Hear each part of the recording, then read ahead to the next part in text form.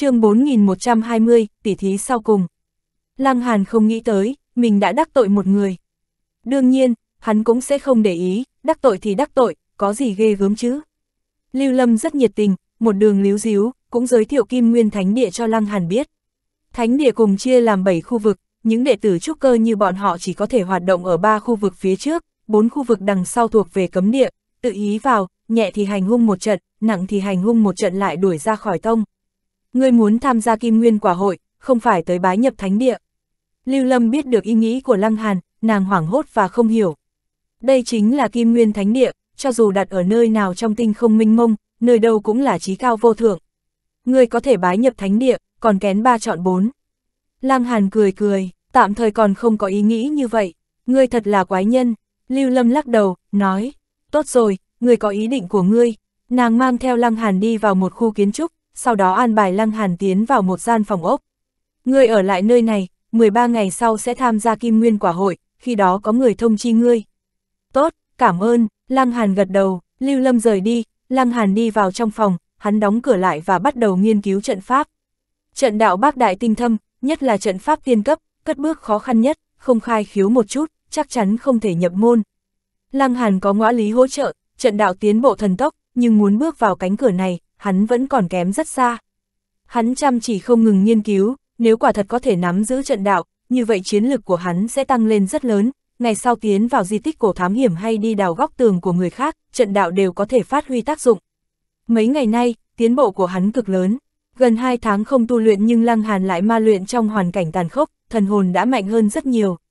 Hắn mở khiếu huyệt và rút lấy lực lượng thiên địa, tiền đạo cơ thạch trong thức hải dần dần lớn mạnh. Tu luyện ở nơi này quá chiếm tiện nghi, một ngày bằng 10 ngày ở nơi khác. Thời gian 13 ngày trôi qua rất nhanh, rốt cục có người tới thông chi, bảo bọn họ tới tham gia tỉ thí, người thắng mới có tư cách tham gia kim nguyên quả hội. Đối với Lăng Hàn mà nói, hắn đã sớm biết việc này, nhưng đối với những người khác thì sự việc quá đột nhiên. Nhưng có biện pháp gì, chẳng lẽ bọn họ dám chống đối thánh địa?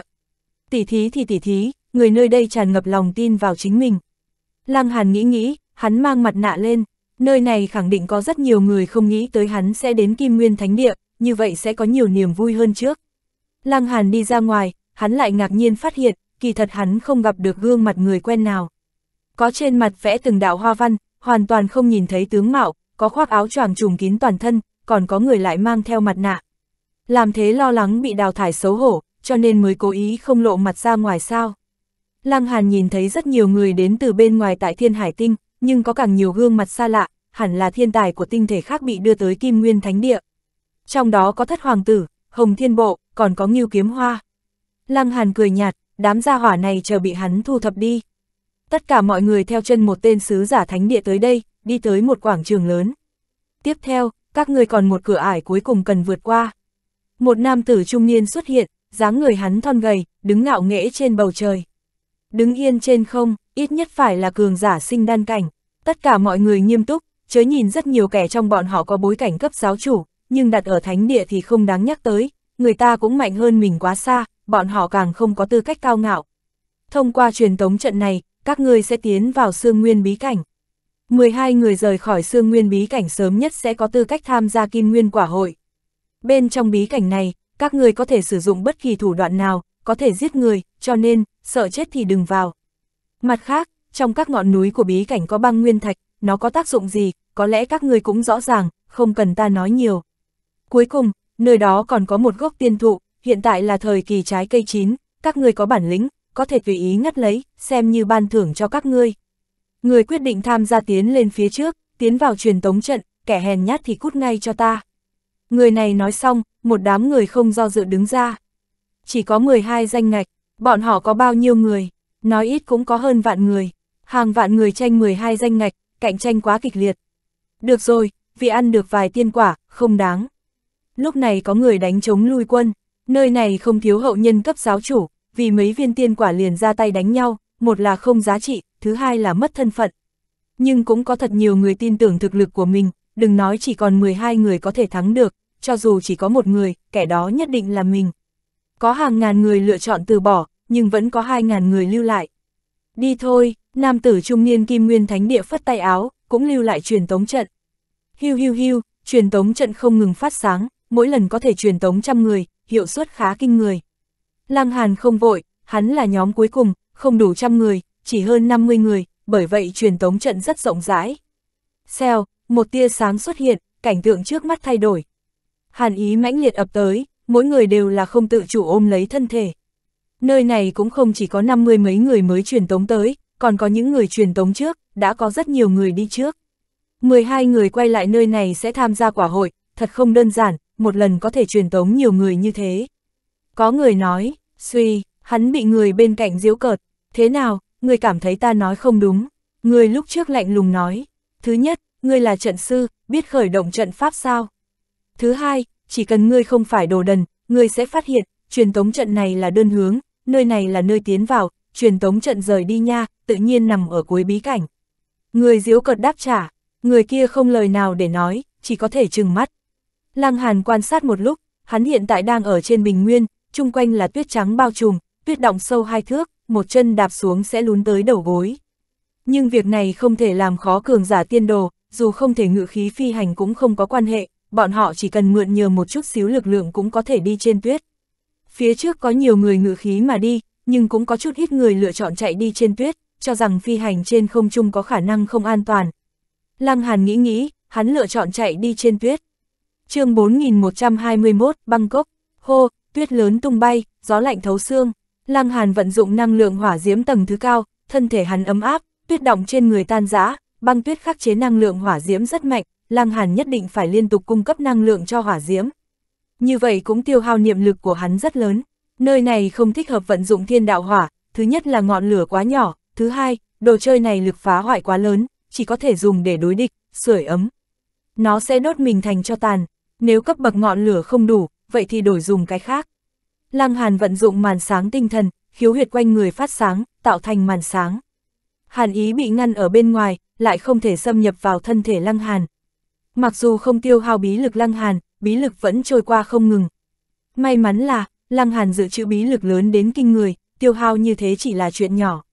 Dùng hỗn độn cực lôi tháp, nó có thể ngăn cản cực viêm, như vậy có thể ngăn cản Hàn ý không? Lăng Hàn vận dụng bảo tháp lơ lửng trên đỉnh đầu của hắn, từng tia hỗn độn khí bao phủ quanh người. Nếu như hắn không khắc chế bảo khí, cảnh tượng sẽ rất kinh người, ngay cả thánh nhân cũng phải động dung. Nhưng bây giờ hỗn độn khí bất phàm nhưng cũng chỉ như thế, nhiều lắm xem như siêu phàm trong trúc cơ cảnh. Hiệu quả xuất hiện ngay lập tức, hỗn độn khí bảo vệ, lăng hàn như vạn pháp bất xâm. Mẫu kim chính là mẫu kim, cho dù không dung nhập lực lượng tổ vương, nó vẫn vô địch trong cảnh giới tương ứng. Ân, giống như hắn, lăng hàn suy nghĩ rất tự luyến, hắn vô địch cùng giai, có mẫu kim chẳng khác gì có đế binh. Tốc độ của hắn kinh người, gió tuyết thì thế nào, hắn đi lại nhàn nhã, phát động tốc độ gấp 20 lần vận tốc âm thanh, hắn nhanh chóng đuổi kịp đám người phía trước. Nhưng tuyết nguyên quá lớn, không có khả năng mỗi người đều đi một đường thẳng, khẳng định có rất nhiều người bị hắn vượt qua nhưng không thể chạm mặt nhau. Tốc độ của Lăng Hàn quá nhanh, thật nhiều người bị hắn vượt qua mới kịp phản ứng, muốn xuất thủ cũng không có cơ hội. Hắn chạy đi nửa canh giờ, hắn cũng đã tới cuối tuyết nguyên, nhìn thấy phía trước là một hạp cốc bị băng tuyết bao phủ. Hô, gió lạnh thổi qua, nó hóa thành một con chim lớn, một đường thổi qua giống như cầm vương thượng cổ du lịch thế gian, uy thế kinh người. Dù còn cách rất xa, Lăng Hàn kiêng kỵ rất mạnh, hắn vội vàng tránh đi. Hắn không biết hỗn độn cực lôi tháp có thể ngăn cản hàn khí ập tới hay không, nếu không cần thiết, hắn cũng không muốn mạo hiểm. Gió lạnh thổi qua, nó kéo dài đến 5 phút đồng hồ, chỉ thấy rất nhiều người đột nhiên xuất hiện trong hạp cốc và tiến lên phía trước, nhưng tốc độ rất chậm. Hóa ra, trong hạp cốc đều có hang núi, những người này tránh lạnh trong hang núi, chờ gió lạnh biến mất mới lộ diện.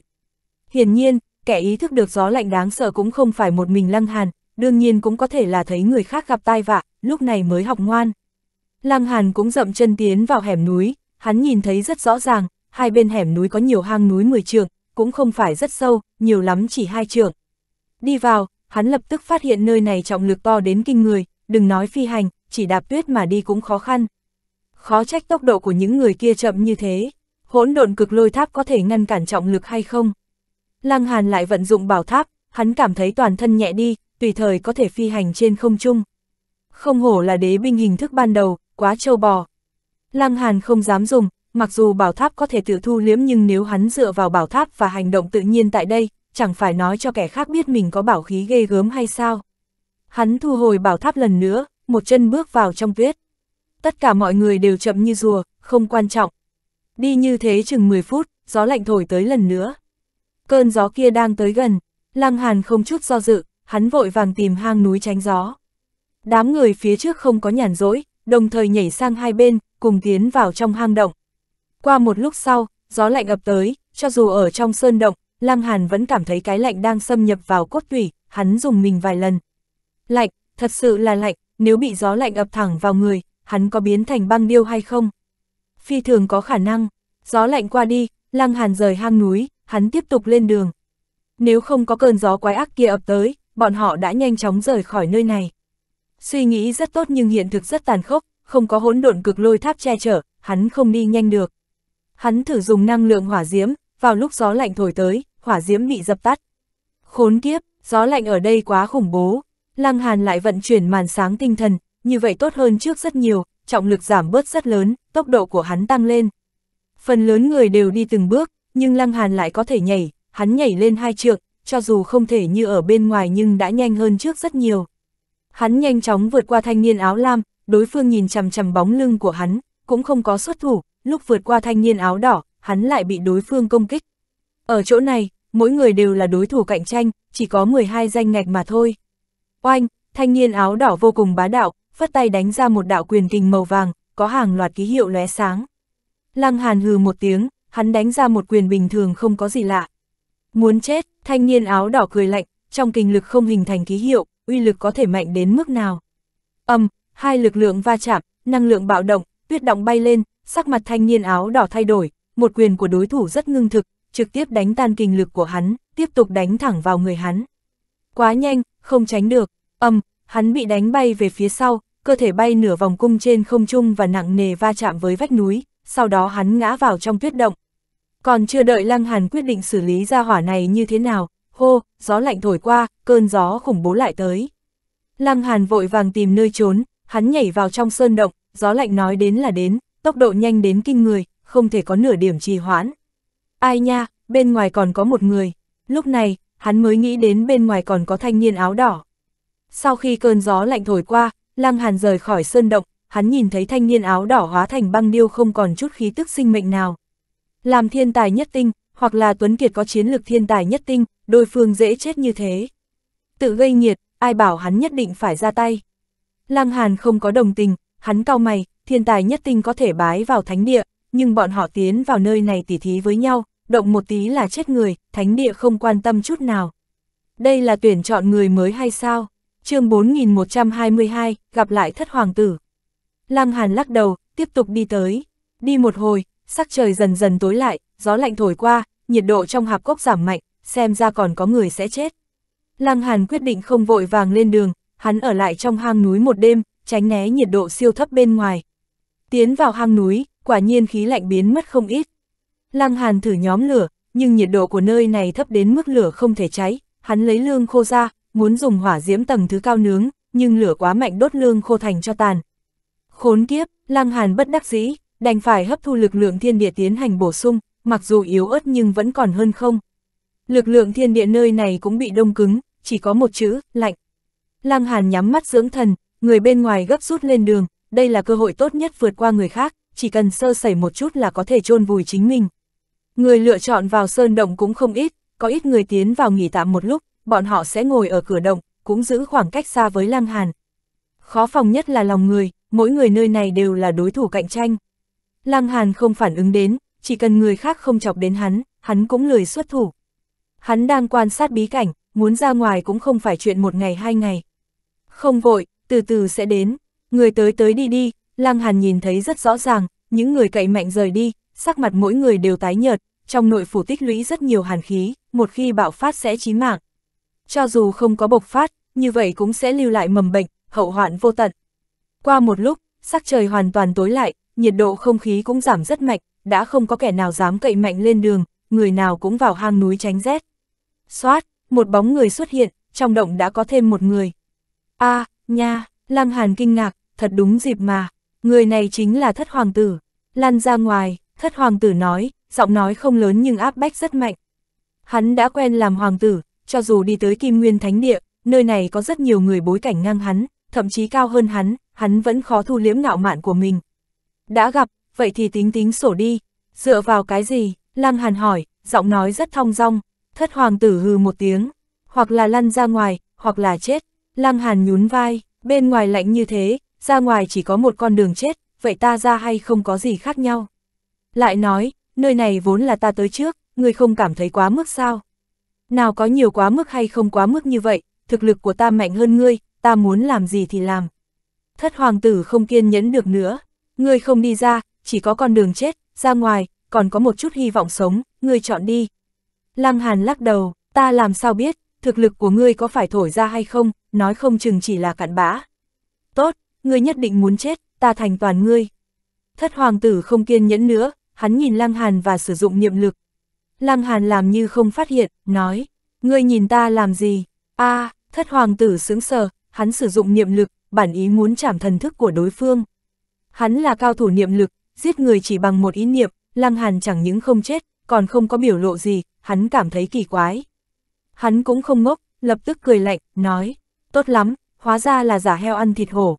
Cho dù đối phương không phải cao thủ niệm lực, như vậy khẳng định cũng tu luyện qua bí pháp củng cố thần thức, hoặc bản thân có bảo khí phòng ngự thần thức. Lăng Hàn cười ha ha, nói, ta nói ngươi chỉ biết khoác lác, quả là thế. Thất hoàng tử không quan tâm, tâm niệm hắn ngưng thực, hiu hiu hiu, lúc này có vài chục thanh đoạn kiếm bay về phía Lăng Hàn. Lăng Hàn mở niệm lực của mình, hắn ngăn chặn toàn bộ đoạn kiếm. Thứ này không phải pháp khí niệm lực, hoàn toàn xem niệm lực của ai mạnh hơn thì người đó khống chế. Cái gì, thất hoàng tử chấn kinh, đây là so đấu niệm lực trực tiếp, kết quả đối phương lại không thua gì mình. Người mang mặt nạ lại là cao thủ niệm lực, hắn cao mày, nội tâm hối hận, sớm biết như thế, hắn thả rằng chậm một chút, ở lại qua đêm trong sơn động phía sau. Hiện tại, nhiệt độ đã hạ xuống rất thấp, ra ngoài là phải chết. Tốt, ta công nhận thực lực của ngươi, ngươi có thể nghỉ ngơi ở nơi này. Thất hoàng tử gật gật đầu, Lăng Hàn bật cười, ngươi quá khôi hài, ta vốn tới trước, còn cần ngươi bố thí. Lại nói, ta không tán thành thực lực của ngươi, loại cặn bã như ngươi làm sao xứng ở chung với ta. Ngươi thật cuồng, thất hoàng tử lạnh lùng nói, có thực lực, đương nhiên có thể cuồng. Lăng Hàn xuất thủ, hiu hiu hiu, hắn phát động lôi quang quyền, ngay sau đó có quyền kình cực nhanh tấn công thất hoàng tử. a thất hoàng tử vô cùng kinh ngạc, hắn không phải chấn kinh lôi quang quyền cường đại, trên thực tế môn quyền thuật này chỉ bất phàm trong phàm cảnh, nhưng đặt trong cấp bậc tiên đồ, nó chỉ là mặt hàng phổ thông. Nếu không, lúc trước hắn cũng không có khả năng tặng cho Lăng Hàn. Đương nhiên hắn nhận ra môn quyền pháp này, chính vì thế hắn càng kinh ngạc. Chẳng lẽ, không có khả năng, người kia còn chưa bước vào tiên đồ, hơn nữa cũng không được mời, tại sao hắn có thể đi tới nơi này? Có phải nghĩ đến cái gì hay không? Lăng Hàn cười nói, ngươi, ngươi, ngươi, thất hoàng tử không dám tin tưởng nhìn hắn. Không sai, ta tới. Lăng Hàn tháo mặt nạ xuống. Phốc, thật sự là hắn. Thất hoàng tử há to mồm, có thể nhét quả trứng gà vào miệng hắn. Mặc dù hắn đã có suy đoán nhưng cho rằng đây là việc không có khả năng, nhưng nhìn thấy Lăng Hàn sống sờ sờ đứng ở trước mặt mình, hắn chấn kinh và ra đầu tê dại. Làm sao có thể, tại sao Lăng Hàn lại xuất hiện ở đây? Hắn hoa mắt, gặp quỷ, tại sao ngươi ở nơi này? Thất hoàng tử vẫn hỏi một câu, ngươi cũng không cần quản. Lăng Hàn thản nhiên nói, hiện tại tiếp tục chủ đề trước, ta cho rằng ngươi không có tư cách đứng chung với ta, ngươi cút hay không cút. Lăng Hàn, mặc dù thiên phú võ đạo của ngươi yêu nghiệt, sau khi bước vào tiên đồ, muốn vượt cấp chiến đấu là chuyện không có khả năng.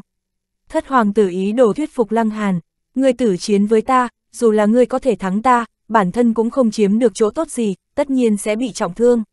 Một năm qua hắn tu luyện trong thánh địa, đạt được rất nhiều chỗ tốt, đã là tu đến trúc nhân cơ đỉnh phong, trái lại Lăng Hàn, khẳng định vừa mới bước vào tiên đồ, tu vi cả hai tranh lệch cực lớn. Ha ha, ngươi thử một chút, Lăng Hàn xuất thủ lần nữa, hắn tấn công thất hoàng tử. Lần này hắn đã hạ quyết tâm, lực lượng kinh khủng bộc phát, đó là lực lượng có thể đè ép trúc thiên cơ đỉnh phong. ầm, um, dưới một kích của hắn, thất hoàng tử phun máu tươi. Thực lực tranh lệch quá lớn, chương 4123, khó thoát khỏi cái chết. Tại sao ngươi mạnh như thế? Thất hoàng tử vừa ho ra máu vừa nói, nhưng hắn là trúc nhân cơ đỉnh phong, chỉ cần tích lũy thêm một thời gian là có thể đột phá trúc thiên cơ. Hơn nữa, trên tiên đồ, tranh lệch giữa thiên tài với nhau nhỏ đi rất nhiều, hắn cũng là thiên tài nhất tinh, làm sao lại kém hơn người vừa mới bước vào tiên đồ nhiều như vậy. Hắn không cam tâm, hắn là con trai của hóa linh chân quân, Lăng Hàn là thứ gì, làm sao có thể so với hắn. Nhưng bây giờ, hắn bị Lăng Hàn đánh bại dễ dàng. Bởi vì ta là thiên tài. Lăng Hàn cười nói, hắn tắt một cái, bốp, thất hoàng tử lại thổ huyết lần nữa. Thất hoàng tử bị câu trả lời này làm tức điên. Lăng Hàn mỉm cười, lão thất, ta rất thất vọng về ngươi. Cái, cái gì? Thất hoàng tử mở to mắt, đó là giọng điệu gì? Ngươi là trưởng bối của ta sao, sao lại dùng giọng điệu này nói với ta? Làm tiểu thúc của ngươi, ức hiếp tiểu bối như ngươi thật mất mặt, nhưng ai bảo ngươi làm quá nhiều chuyện xấu như thế, chỉ việc đồ diệt hổ cứ thành, ta đã không có khả năng tha cho ngươi. Lăng Hàn nói, thất hoàng tử vừa giận vừa vội, ta thành cháu của ngươi khi nào? Ghê tởm, ghê tởm, hắn là người hơn trăm tuổi, lại bị một hậu bối miệng còn hôi sữa dùng giọng điệu giáo huấn. Lăng Hàn, ngươi muốn phạm thượng, thất hoàng tử kêu lên, nội tâm hắn sợ hãi, nơi này cũng không phải thiên hải tinh, càng không phải là đế đô. Bốp, Lăng Hàn tắt một cái, nói, ta nói với người rồi, ta là thúc của ngươi, ngươi dám dùng giọng điệu như vậy nói chuyện với ta. Thất hoàng tử trợn mắt, ngươi chẳng những nhục ta, còn ô nhục phụ thân của ta, thật to gan, chúc cơ cảnh nho nhỏ lại dám nhục nhã hóa linh chân quân. Bốp, lại một cái tát thanh thúy. Lăng Hàn lắc đầu, ngươi còn chưa học ngoan, ta đã nói ta là thúc của ngươi. Thất hoàng tử tức giận nhìn Lăng Hàn, hắn thề, chỉ cần trở lại thiên hải tinh, hắn nhất định phải báo cáo Trần Phong Viêm, Lăng Hàn thật sự ngông cuồng không giới hạn, cho dù được ân sủng cũng có thể xem trời bằng vung như vậy sao? Ngươi có thể đứng ở địa vị cao, đó là vì được thánh sủng, chỉ khi nào thất sủng, ngươi chính là cặn bã. Lão thất, xem mặt mũi Trần Phong Viêm, ngươi năm lần bảy lượt nhằm vào ta, ta không so đo với ngươi. Lăng Hàn nói, nhưng ngươi sai khi giết hổ cứ thành, việc làm diệt sạch nhân tính như thế, nếu như ta tha mạng cho ngươi, làm sao xứng với những người chết oan. Thất hoàng tử há to miệng, dường như hắn không dám tin, nói. Một dân đen như ngươi dám giết ta. Dân đen, Lăng Hàn lắc đầu, nói. Ngươi không hiểu, vô số sinh linh trong vị diện của hắn, lấy tiêu chuẩn thế giới này chính là kẻ đê tiệt, nhưng tín niệm vô số bình tiện nhân hợp lại đã giúp Lăng Hàn sáng tạo kỳ diệu, đây chính là lực lượng của người nhỏ yếu. Ngươi không thể giết ta, không thể, thất hoàng tử quát lớn, hắn là hoàng tử, hoàng tử đấy. Hắn cực kỳ hối hận, nếu không phải lôi kéo Lăng Hàn, hắn ra tay không do dự, như vậy làm sao có việc hôm nay. Hắn hận, hắn nhất định sẽ hùng tài đại lược, có sự nghiệp lừng lẫy, mà phụ thân của hắn chính là hóa linh chân quân, hắn lại chết trong tay trúc nhân cơ, hắn cảm thấy oan khuất và không cam tâm. a hắn giống lên, đôi mắt tức giận nhìn chằm chằm vào Lăng Hàn, giống như phải dùng ánh mắt giết chết đối phương. Hắn không muốn chết, hắn thực sự không muốn chết. Lăng Hàn thở ơ, hắn đánh ra một trường mang theo năng lượng hủy diệt, chỉ đánh một cái, thất hoàng tử đã biến mất, dường như hắn chưa từng tồn tại bao giờ. Mặc dù thất hoàng tử không được tính là đối thủ cường đại, nhưng Lăng Hàn vẫn có cảm giác nhẹ nhõm. Vì báo thù cho bách tính một tòa thành, hắn như chút được gánh nặng. Hắn nhắm mắt dưỡng thần, trong đầu có trận văn diễn hóa thành hình. Hiện tại hắn rãnh rỗi chỉ có thể nghiên cứu trận văn, đan đạo với hắn chỉ là việc nhỏ, nhưng trận đạo lại kém quá nhiều, mặc dù hắn rất có thiên phú trên trận đạo. Một đêm qua đi, Lăng Hàn không lãng phí thời gian, hắn tu luyện nửa giờ và rời khỏi hang núi. Lạnh, Lăng Hàn run rẩy, hắn vận dụng màn sáng tinh thần cũng không thể ngăn cản khí lạnh xâm lấn, bởi vì không làm được. Trong hạp gốc, thời gian mặt trời xuất hiện rất trễ, sau khi qua một giờ mới có tia nắng đầu tiên. Lăng Hàn lại nếm thử, lần này hàn ý biến mất rất nhiều, mặc dù vẫn lạnh nhưng nằm trong phạm vi hắn có thể chịu được. Hắn đi ra ngoài, nhảy ra khỏi hang núi và lưu lại dấu chân thật sâu. Hô, sau đó không lâu, gió lạnh thổi tới, nhiệt độ giảm mạnh, mỗi người đều vội vàng tìm hang núi tránh cái lạnh, lại khôi phục tiết tấu của ngày hôm qua. Hiện tại là ban ngày, Lăng Hàn vẫn chưa ra khỏi sơn cốc, lúc bóng đêm giáng lâm, hắn không thể không tìm hang núi trú chân. Cút, không nghĩ tới trong động còn có hai người, sau khi nhìn thấy hắn, một tên nam tử áo trắng quát lớn. Lăng Hàn cười nhạt một tiếng, địa phương rất lớn, thêm một người cũng không ảnh hưởng gì. Có ảnh hưởng hay không là do ta quyết định, nam tử áo trắng hừ một tiếng, trên mặt lộ ra thần sắc khinh thường. Lăng Hàn cũng không khách khí, nói, Sơn động không phải do ngươi mở, muốn ta đi, ha ha, ngươi không đi, vậy thì đánh ngươi ra ngoài. Nam tử áo trắng đi nhanh về phía trước, oanh, khí thức cuồng bạo bộc phát. Trúc nhân cơ nho nhỏ, ta dùng một ngón tay cũng có thể nghiền chết ngươi. Hắn thật có tư cách cuồng ngạo, bởi vì hắn có tu vi trúc thiên cơ, hơn nữa là thiên tài nhất tinh. Vô địch trúc thiên cơ, hắn làm sao có thể đặt trúc nhân cơ vào mắt. Khí thế của hắn có thể trấn áp lăng hàn, nhưng khí thế mãnh liệt bộc phát lại không có chút hiệu quả nào. a nam tử áo trắng vô cùng kinh ngạc, hắn lại lộ ra vẻ mặt cao ngạo, khí thế không dùng được, vậy thì dùng tiên đạo cơ thạch. Ngươi có thể tôi luyện ý chí cứng cỏi, nhưng thiên đạo cơ thạch áp chế nhân đạo cơ thạch là cảnh giới khác nhau, cho dù thế nào cũng không tránh được. Ông, hắn phóng xuất tiên đạo cơ thạch, khí thế vô hình và khủng bố ập tới. Sau tiên đạo cơ thạch, Lăng Hàn cũng vận dụng tiên đạo cơ thạch của mình, bắt trước tiên thạch xây dựng tiên môn viễn cổ cho nên nó như một khối đá bình thường, nó lại tỏa ra khí thế làm cho trúc cực cơ phải run rẩy. Trúc nhân cơ dám so đấu tiên đạo cơ thạch với mình. Nam tử áo trắng kém chút cười phun cả nước bọt, ngay sau đó hắn cảm thấy đau đớn, chẳng những khí thế bị áp chế toàn diện, ngay cả tiên đạo cơ thạch của hắn cũng run rẩy, giống như sắp vỡ nát. Khốn kiếp, đây là tình huống như thế nào?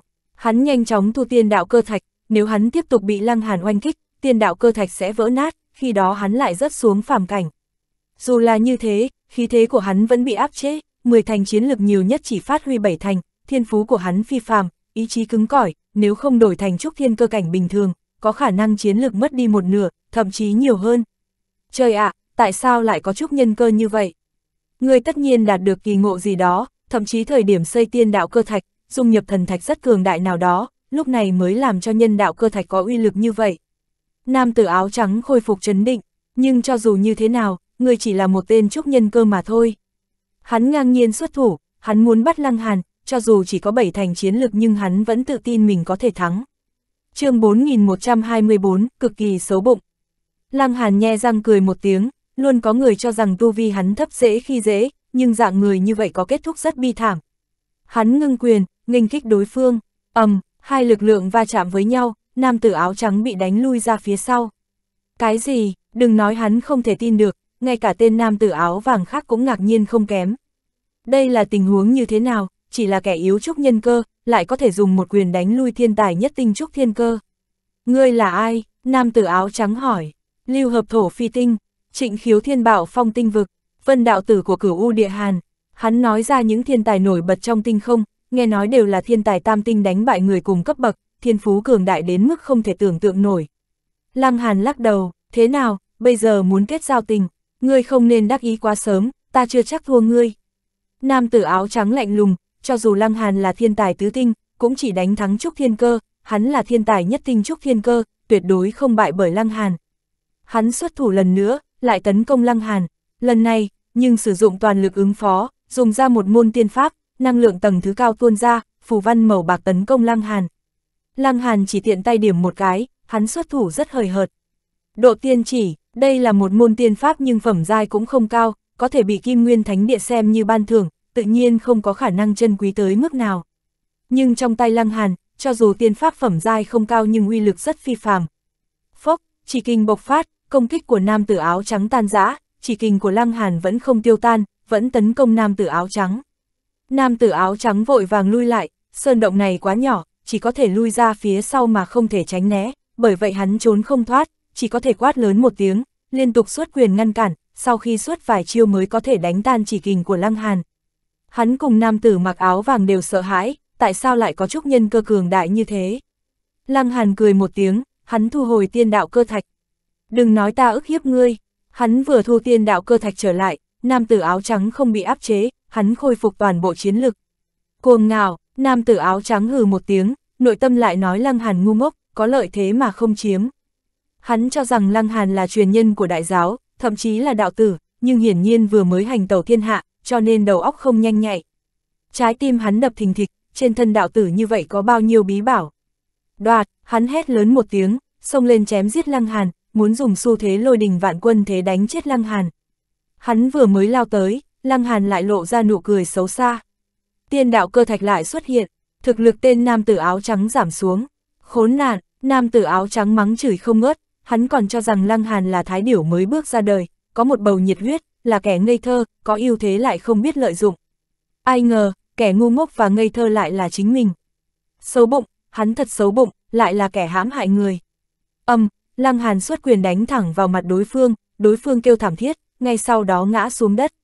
Nếu chiến lực của hắn không bị áp chế, hắn cũng không đến mức thảm như vậy, hắn có thể tính toán thực lực của đối phương, tất cả công kích đều là tiêu chuẩn cơ bản, hiện tại tiêu chuẩn cơ bản cải biến, nội tâm hắn rối loạn, hắn làm sao đánh thắng. Cho nên hắn mới nói Lăng Hàn hãm hại người, người quá âm hiểm, tên nam tử áo vàng quát lớn, Lăng Hàn nhún vai, cười nói, ta nghĩ, có ưu thế không cần sẽ bị các người mắng thành là kẻ ngu, cho nên, ta quyết định không làm kẻ đần. Nam tử áo trắng bị Lăng Hàn dẫm dưới chân, hắn muốn rơi lệ. Hóa ra hắn mới là kẻ đần, giao tất cả đồ trên người ra, bằng không ta sẽ ném các ngươi ra ngoài hóng gió. Lăng Hàn từ tốn nói, ngươi, ngươi ăn cướp, ánh mắt của ngươi là gì? Lăng Hàn bất mãn nói, nhanh lên, kiên nhẫn của ta có hạn. Nam tử áo trắng bất đắc dĩ, hắn đánh phải dùng ánh mắt xin giúp đỡ từ đồng bạn. Các hạ, ngươi thật quá mức, nam tử áo vàng không thể nhịn, hắn cầm một thanh kiếm, thanh kiếm tỏa ra hàn quang kinh người. Hắn muốn giết Lăng Hàn cứu đồng bạn, Lăng Hàn cũng không tin tên nam tử áo trắng chạy trốn, bên ngoài có cái lạnh chết người, muốn chết thì ngươi cứ rời đi. Hắn dùng sức giẫm mạnh, ầm, hắn lập tức lao thẳng về phía tên nam tử áo vàng. A, tên nam tử áo trắng kêu thảm thiết, trên mặt đầy ai oán, người đánh nhau thì đánh nhau, vì cái gì còn dẫm hắn một cái. Xương cốt toàn thân như đứt đoạn, Lăng Hàn đánh ra một quyền, nam tử áo vàng đề phòng hắn dùng tiên đạo cơ thạch áp chế, một kiếm này có 3 phần công, 7 phần thủ. Nhưng Lăng Hàn không có suy nghĩ dùng tiên đạo cơ thạch đè người, hắn phát động màn sáng tinh thần, cứ thế va chạm với kiếm quang, màn sáng ngăn cản tất cả.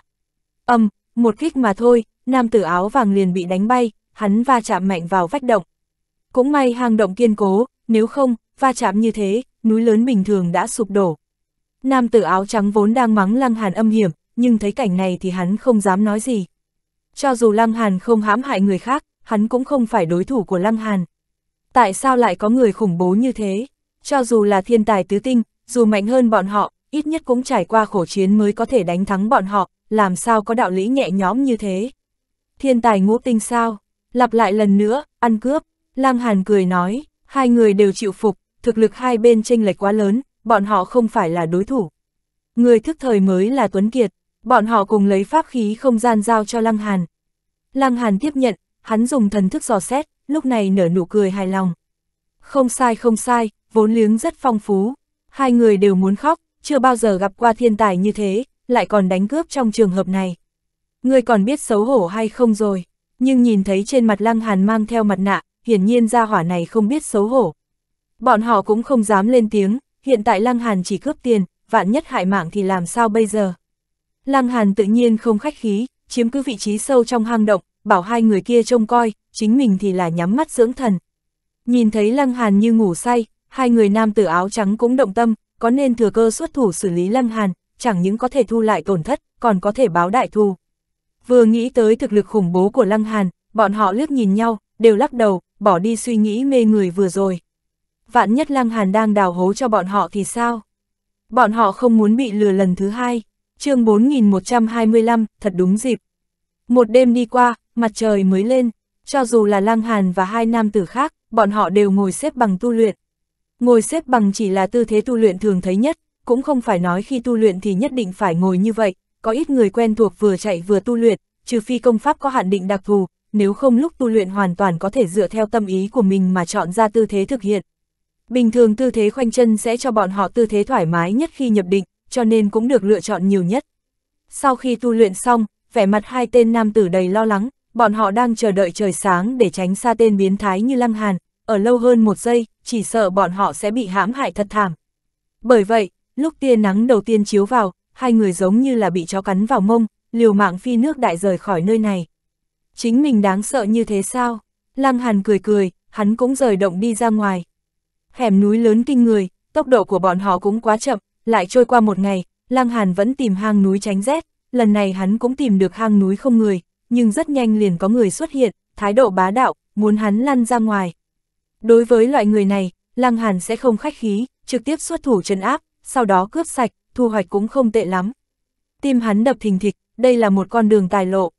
Sau đó mấy ngày, hắn gặp thật nhiều người không mở mắt, kết quả cũng giống nhau, bị hắn trấn áp, cướp sạch, không có kẻ nào là ngoại lệ.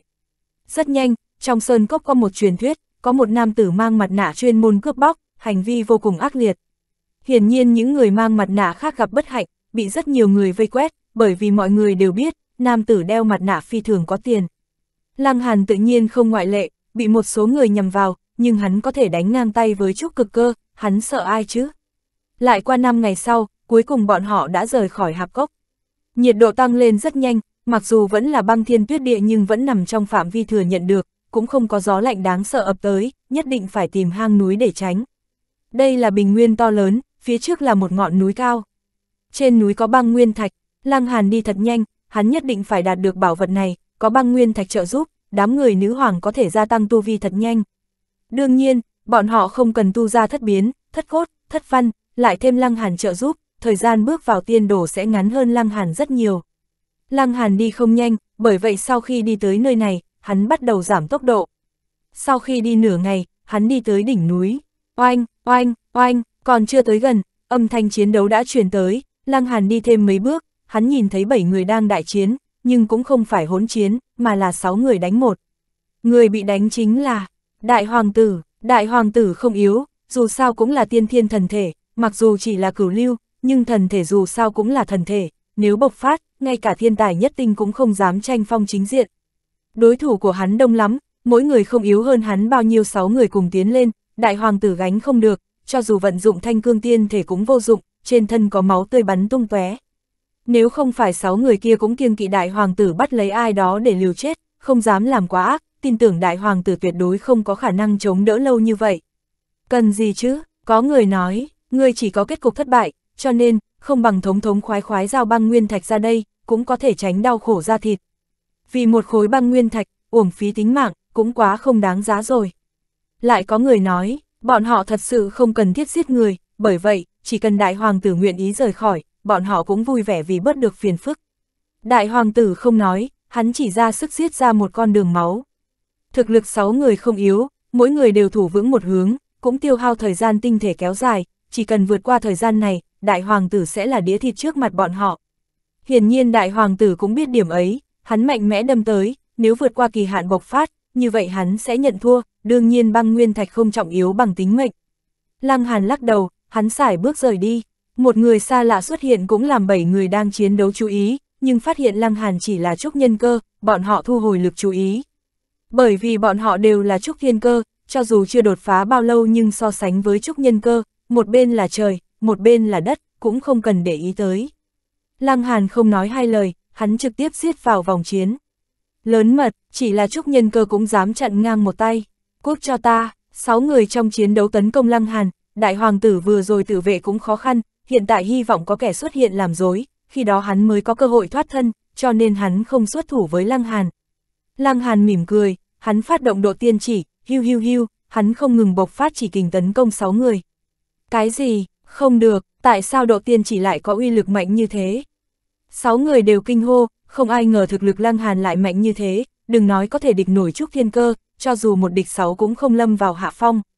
Yêu nghiệt, siêu cấp đại yêu nghiệt, bọn họ cùng bộc phát, cũng vận dụng kỹ pháp mạnh nhất của mình, nhưng khi đối mặt với Lăng Hàn, tất cả đều uổng phí. Thậm chí Lăng Hàn chỉ vận chuyển một môn độ tiên chỉ phổ thông mà thôi. Qua vài phút sau, sáu người đã bị Lăng Hàn đánh ngã nằm trên mặt đất. Đại hoàng tử sướng sờ, thực lực của đối phương quá cường đại, hắn không dám bỏ chạy. Bởi vì hắn biết mình chạy không thoát, một khi đắc tội Lăng Hàn, hắn không địch nổi chiến lực đáng sợ của đối phương, nói không chừng sẽ rước lấy họa sát thân. Đa tạ các hạ xuất thủ tương trợ, đại hoàng tử chắp tay với Lăng Hàn, Lăng Hàn gật gật đầu, mặc dù nhìn ngươi khó chịu, nhưng với tư cách trưởng bối của ngươi, ta cũng không trơ mắt nhìn ngươi bị khi dễ. Đại hoàng tử tức giận, ngươi là trưởng bối của ta. Phụ thân ta chính là hóa linh chân quân, ngươi vừa mới vào tiên đồ, chuyện này làm sao có thể. Nhưng dù sao đối phương vừa cứu hắn, hắn cũng không tiện trợn mắt đối lập, dứt khoát không lên tiếng, chỉ mắng Lăng Hàn trong bụng, mặc dù hắn cũng không biết Lăng Hàn là ai. Lăng Hàn cười ha ha, hắn nói với sáu người nằm xuống kia. Giao pháp khí không gian trên người cho ta. Sáu người sững sờ, sau kịp phản ứng. Ngươi là tên đạo tặc kia. Bọn họ chăm miệng một lời. Ai có thể nghĩ tới, tên đạo tặc kia chính là Trúc Nhân Cơ, nhưng chiến lực mạnh đến mức làm người ta líu lưỡi. Nếu biết ta là ai, còn không nhanh. Lăng Hàn phất phất tay, không nhịn được nói một câu. Sáu người bất đắc dĩ, đành phải lấy pháp khí không gian ra giao cho Lăng Hàn, tiền tài là vật ngoài thân, không thể trọng yếu bằng tính mệnh. Còn ngươi, Lăng Hàn nhìn về phía đại hoàng tử, cái, cái gì, đại hoàng tử ngây người, chương 4126, ngay cả ta cũng cướp. Ngươi không phải trưởng bối của ta sao? Ngươi không phải tới cứu ta sao? Tại sao ăn cướp cả ta?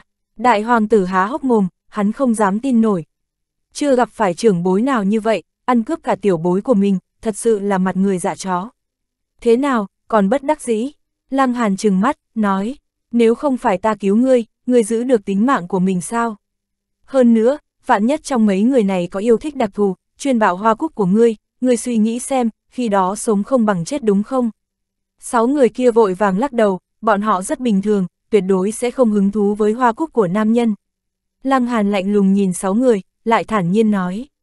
Các ngươi cần phải biết, rốt cuộc có hứng thú với nam nhân hay không? Đây là, uy hiếp trần trụi, sáu người kia không thể không gật đầu, nhìn dáng vẻ của Lăng Hàn, một lời không hợp sẽ động thủ. Được rồi, vì cái mạng nhỏ của mình, như vậy hy sinh một người đi, còn là người nào thì chưa biết.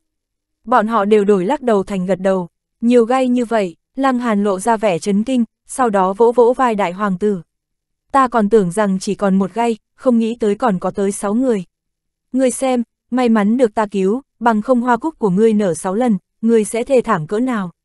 Đại hoàng tử há hốc mồm, khốn kiếp, vốn không có người nào hứng thú với hoa cúc của mình, đều là bị ngươi ép ra đấy.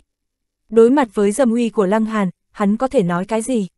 Hắn đàng hoàng giao băng nguyên thạch ra, bằng không bị Lăng Hàn lục soát người, hắn cũng không giữ được. Cho nên, chỉ bằng mình chủ động một chút, Lăng Hàn nhoẻn miệng cười, lại vỗ vỗ vai đại hoàng tử, nói với sáu người khác. Đây là cháu của ta, các ngươi phải khách khí một chút, nếu không ta tùy thời gây phiền phức cho các ngươi. Sắc mặt đại hoàng tử tối tăm, mặc dù hắn biết đánh không lại nhưng nội tâm hắn tức giận không thua gì sáu người kia. Được rồi, ta đi, không cần tiễn. Lăng Hàn nghênh ngang rời đi, ai tiễn ngươi, quỷ mới tiễn ngươi, bao gồm cả đại hoàng tử, mỗi người đều hận không thể xông lên dẫm Lăng Hàn hai cước, nhưng trong hiện thực, bọn họ chỉ có thể đưa mắt nhìn mà thôi. Lăng Hàn tiếp tục đi, hiện tại hắn đi tới ngọn núi thứ hai. Thật không nghĩ tới, đại hoàng tử lại tiến vào trúc thiên cơ. Tốc độ tu luyện thật nhanh, nhưng không có đầy đủ sinh mệnh bảo quả, hắn làm sao vượt qua. Thánh địa cho sao, từ điểm này, thánh địa thật cam lòng dốc hết vốn liếng. Nhưng xem tỉ thí tàn khốc như thế, dường như không xứng với lựa chọn nhân tài. Mục đích chân chính của bọn họ là gì? Lăng Hàn vừa đi vừa suy nghĩ, nhưng hắn không phải con run trong bụng kim nguyên thánh địa, làm sao có thể biết chứ? Sau một ngày, hắn đi tới đỉnh ngọn núi thứ hai. Đỉnh núi rất bằng phẳng, tuyết trắng bao phủ mênh mông, trong tuyết nguyên có một ít tảng đá nhô ra, phía trên lại chất đống mấy đống đá nhỏ. Băng nguyên thạch, lăng hàn sải bước đi tới, hắn chỉ đi vài bước liền dừng lại. Có trận pháp bảo vệ, hắn lẩm bẩm, mặc dù hắn còn chưa nắm giữ trận pháp tiên đồ, nhưng muốn phát hiện trận pháp tồn tại lại là việc rất nhỏ. Không đơn giản, lăng hàn phất tay, hắn đánh bay tuyết động, mặt đất hiện ra. Dùng mấy tảng đá làm trung tâm, trên mặt đất răng đầy hoa văn màu bạc, nhìn như không có quy luật, nhưng cẩn thận quan sát lại phù hợp một loại đạo lý nào đó làm người ta trầm mê, muốn lĩnh ngộ được thứ gì đó. Lăng Hàn ném một khối đá tới, tảng đá còn chưa rơi xuống đất đã bị tia sáng đánh trúng, ba, tảng đá bị đánh vỡ nát. Chỉ từ một kích vừa rồi mà xem, uy lực đại khái cỡ trúc cực cơ đỉnh phong. Lăng Hàn đi về phía trước, nếu cứ nhìn như thế, cả đời này cũng không phá được trận pháp. Vào lúc hắn đặt chân vào hoa văn màu bạc, xèo, lại có một tia sáng bay về phía Lăng Hàn. Lăng Hàn dùng quyền đánh trả, âm, tia sáng kia bị hắn tiêu diệt, nhưng hắn cũng cảm giác nắm đấm hơi đau nhức, hắn cảm nhận rất trực quan, hắn có thể dùng chiến lực trúc cực cơ đỉnh phong chống đỡ. Nhưng chưa chờ hắn tiến lên, hiu hiu hiu, lại nhìn thấy ba tia sáng bắn ra cùng lúc, lại tấn công hắn lần nữa. Những hào quang này tới từ hoa văn dưới lòng đất, bởi vậy chúng lao từ các góc độ khác nhau. Lăng Hàn không sợ, vung quyền đánh liên tiếp, âm âm âm, ba quyền mà thôi, hắn lại đánh tan ba đạo công kích. Một đợt chưa hết, một đợt mới lại lên, lại là chín đạo hào quang tấn công. Thật sự chưa dứt sao, Lăng Hàn lại sinh ra hứng thú, hắn lúc trước chỉ chuyên tâm nghiên cứu trận pháp, trận pháp trung quy là chết, hiện tại thân vào trong trận, có được tham chiếu, hắn càng có thể rất nhanh lĩnh ngộ ra nhiều thứ. Hắn mở màn sáng tinh thần bảo vệ toàn thân, hiu hiu hiu, hào quang bắn tới, sau khi đụng vào màn sáng tinh thần liền vỡ nát, không cách nào tiến thêm một bước. Nhưng màn sáng tinh thần cũng không phải vạn năng, chịu chín đạo công kích thì màn sáng dạn nứt, cần lăng hàn dùng bí lực tu bổ, dạn nứt sẽ biến mất thật nhanh, cái giá lớn chính là tiêu hao bí lực của lăng hàn.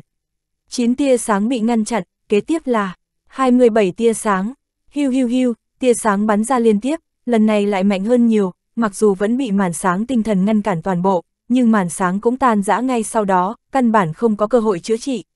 Chữa trị màn sáng hao tổn bí lực, hơn nữa màn sáng tinh thần không lớn lắm, đương nhiên, Lăng Hàn không thiếu nhất chính là dự trữ bí lực, hoàn toàn có thể khiêu chiến hóa linh chân quân. Gấp 3 lần 21 tia sáng, đó là 63 tia sáng. Lần này Lăng Hàn cũng không dám tiếp, hắn vội vàng lui ra phía sau, bằng không hắn sẽ bị đánh thành cái sàng. Thú vị, Lăng Hàn lại bước vào trận pháp lần nữa, lần này, lại là một tia sáng đánh tới, lại mở ra một vòng tuần hoàn mới. Hắn tự nghĩ, nếu như phát động chỉ xích thiên nhai, hắn nhiều nhất chỉ ngăn cản ba đạo công kích, mạnh nhất chỉ tiếp được chín đạo, màn sáng tinh thần có thể ngăn cản toàn bộ. Nhưng sau khi cầm lấy băng nguyên thạch, trận pháp còn tác dụng hay không? Bởi vì có khả năng chúng là trận nhãn, là hạch tâm của trận pháp, hạch tâm mất đi, uy lực trận pháp không còn. Vì nghiên cứu trận pháp, Lăng Hàn quyết định không lấy đi băng nguyên thạch. Hắn muốn từ góc độ khác phá giải trận pháp, quả nhiên, lý thức kém xa thực tiến, nội tâm Lăng Hàn không ngừng lĩnh ngộ, hắn cảm thấy chỉ cần thời gian 2-3 ngày, hắn nhất định có thể nắm giữ môn trận pháp này. Mà nhất pháp thông, vạn pháp thông, hắn có thể nhập môn trận pháp. Nửa ngày trôi qua rất nhanh, xèo, một bóng người đột nhiên tung người đi lên đỉnh núi. Đó là nam tử trẻ tuổi khí thế đường đường, thân hình cao lớn, tóc rất ngắn, tóc chỉ dài một tấc, hơn nữa còn có vẻ già dặn. Cút, hắn nhìn chằm chằm vào Lăng Hàn, phun ra một chữ. chương 4127, Chiến trúc cực cơ. Lăng Hàn đang nghiên cứu trận pháp, hết sức chuyên chú, hắn làm gì có tâm tình quan tâm tới đối phương. Nam tử to con tức giận không nhỏ, quát, ngươi muốn chết sao, Lăng Hàn không quan tâm tới, hắn đang tìm hiểu mấu chốt trong tiết điểm, chỉ cần hiểu thông tiết điểm, hắn nhất định có thể tìm hiểu phần lớn trận pháp này. Lớn mật, nam tử kia nổi giận gầm lên một tiếng, hắn xuất trưởng tấn công Lăng Hàn. Xèo, đúng lúc Lăng Hàn phát động trận pháp, có 27 tia sáng bắn ra ngoài đánh nát màn sáng tinh thần của hắn, bởi vậy lúc nam tử to con công kích, Lăng Hàn cũng chỉ có thể xuất quyền đánh trả, bằng không hắn sẽ bị thương. Âm, sau khi đánh một quyền, trường lực của người kia bị đánh nát, nhưng Lăng Hàn cũng cau mày, lực lượng phản chấn làm hắn đau đớn. Hắn lui ra khỏi trận pháp, ánh mắt nhìn nam tử to con kia, tâm tình Lăng Hàn rất khó chịu. Bị đối phương cắt ngang như vậy, suy nghĩ của hắn gián đoạn, hơn nữa vừa vặn chạm vào thiết điểm, hắn sẽ lãng phí không ít thời gian. Hừ, không phá giải được trận pháp thì cút ngay cho ta. Nam tử to con lạnh lùng nói. Lăng Hàn nghiêng đầu nhìn hắn, nói, tâm tình ta hiện tại rất khó chịu, thì tính sao, người còn muốn đánh ta hay sao? Nam tử to con nói, hắn tên là Nam Cung Lẫm, chính là thiên tài nhất tinh trúc cực cơ, nếu lúc trước không bị ràng buộc, hắn làm sao có khả năng đến muộn như thế. Nhưng không sao, hiện tại hắn đã đi ở trước nhất, tất cả băng nguyên thạch đều là của hắn. Đánh cho mụ ngươi không nhận ra ngươi, Lăng Hàn xông ra ngoài, tâm tình hắn bây giờ không tốt, nhất định phải tìm người đánh một trận. Trúc nhân cơ nho nhỏ cũng dám làm càn trước mặt ta. Nam cung lẫm cười lạnh, hắn vươn tay muốn bắt lấy Lăng Hàn. Oanh, hai đạo kinh lực va chạm với nhau, từ đó tạo thành phong bạo. Lăng Hàn, Nam cung lẫm đồng thời lùi lại mấy bước, hắn phát hiện Lăng Hàn lui bước nhiều hơn mình một chút. Lăng Hàn đã rất yêu nghiệt, chỉ bước vào trúc nhân cơ đã có thể địch nổi trúc cực cơ đỉnh phong, nhưng Nam cung lẫm cũng là thiên tài nhất tinh, theo lý hắn vô địch trúc cực cơ, tự nhiên còn mạnh hơn Lăng Hàn, nếu không, thật sự không có thiên lý. a sắc mặt Nam cung lẫm biến thành ngưng trọng, hắn giật mình, nói. Xém chút mắc bẫy người rồi, người tuyệt đối không phải trúc nhân cơ, mà là trúc thiên cơ đỉnh phong, thậm chí là trúc cực cơ. Nào có trúc nhân cơ mạnh như vậy, chẳng phải là thiên tài lục tinh. Trong mấy tinh vực gần đây, số thiên tài tứ tinh cộng lại cũng chỉ 10 người, thiên tài lục tinh. Ha ha, đúng là âm hiểm, muốn lừa gạt ta sao? Nam Cung lẫm giận dữ, nếu như hắn không phải trúc cực cơ, mà chỉ là trúc thiên cơ, hắn có chủ quan và bị lừa gạt hay không? Hãm hại con mẹ ngươi, Lăng Hàn lại giết tới, hắn tấn công từ chính diện. Lực lượng kém một ít cũng không có gì, đây cũng không phải chiến lược toàn lực. Lăng Hàn thi triển độ tiên chỉ, hưu hưu hưu, một đạo chỉ kình đánh thẳng về phía Nam Cung lẫm Độ tiên chỉ, ha ha, Nam Cung Lấm cười lạnh, nói, dùng tiên thuật yếu như thế đối phó ta, người lấy đâu ra dũng khí như thế. Hắn cũng vận chuyển một môn tiên thuật, ký hiệu sáng chói mắt sinh ra, quả nhiên, hắn bạo phát chiến lực còn trên cả Lăng Hàn, lập tức áp chế Lăng Hàn. Lăng Hàn không nói gì, hắn chỉ muốn dùng môn tiên thuật phổ thông như độ tiên chỉ đánh bại đối thủ. Hắn mở nhãn thuật quan sát, ngay sau đó thiên địa dùng hình thức khác hiện ra trước mặt hắn. Nam Cung lẫm đánh ra một kích quang hoa đầy trời, hoàn toàn che giấu lộ tuyến công kích của mình, có tính mê hoặc cường đại, đây là đặc điểm của phần lớn tiên thuật, lấy phương thức như vậy ẩn giấu lộ tuyến công kích. Nhưng sau khi Lăng Hàn mở nhãn thuật ra, hào quang rực rỡ cũng không có cách nào che mắt hắn lại. Xèo, hắn vươn tay điểm một chỉ, kinh lực vừa vặn công kích xuyên qua sơ hở trong công kích của Nam Cung Lẫm, đánh vào cổ đối phương. Nam Cung Lẫm không ngờ rằng tới một kích này, dù sao hắn cũng là thiên tài nhất tinh trúc cực cơ, năng lực ứng biến rất cường đại, vội vàng nghiêng đầu sang một bên, hắn né qua một kích vừa rồi. Phốc, cổ hắn bắn ra một tia máu tươi, hắn cũng không thể tránh né hoàn toàn. Hắn giận tím mặt, vừa rồi hắn còn cười chê Lăng Hàn, kết quả tốt rồi, người ta đánh một kích đã thấy máu. Đây là đánh mặt, hắn hét lớn một tiếng, oanh, năng lượng tầng thứ cao sôi trào, hắn cuốn lấy năng lượng màu đen và giết về phía Lăng Hàn. Lăng Hàn đánh ra sát khí xung kích, ông, Nam Cung lẫm chịu ảnh hưởng, công kích biến thành vướng víu. Hiu hiu hiu, độ tiên chỉ đánh tới, đánh thẳng vào nơi phòng thủ yếu kém của hắn. Nam Cung lẫm không thể không chuyển thành phòng thủ, đầu tiên phải uy hiếp của độ tiên chỉ. Hắn nghĩ phản công, nhưng chỉ cần hắn công kích sẽ bị sát khí xung kích áp chế, chỉ có thể tiến hành phòng thủ. Phối hợp sát khí xung kích với nhãn thuật, độ tiên chỉ một môn tiên thuật thường thường không có gì lạ lại phát huy uy lực bất phàm. Ai còn dám nói độ tiên chỉ không được, phốc, phốc, phốc, Nam Cung lẫm không ngừng trúng chiêu, mặc dù chỉ là một chút vết thương da thịt, cũng đủ làm toàn thân hắn nhiễm máu tươi, việc này làm hắn nổi trận lôi đình. Độ tiên chỉ như thế nào? Lăng Hàn thản nhiên nói. Nam Cung lẫm im lặng, mặc dù hắn biết đây cũng không phải độ tiên chỉ bất phàm, mà là Lăng Hàn có một môn thủ đoạn ảnh hưởng tâm linh của hắn, hơn nữa nhãn lực của đối phương đặc biệt tốt, luôn có thể nhìn thấu công kích của hắn. Thì tính sao, đây là thực lực của Lăng Hàn sao? Hắn còn không có như vậy không biết xấu hổ, để Lăng Hàn chỉ lấy độ tiên chỉ cùng mình chiến đấu. Ngươi không nên cao hứng quá sớm. Nam Cung lẫm lạnh lùng nói một câu, trên người hắn sinh ra một tia hào quang sáng ngời, sau đó hóa thành một bạch ngọc tháp, có ánh sáng nhẹ nhẹ lưu chuyển.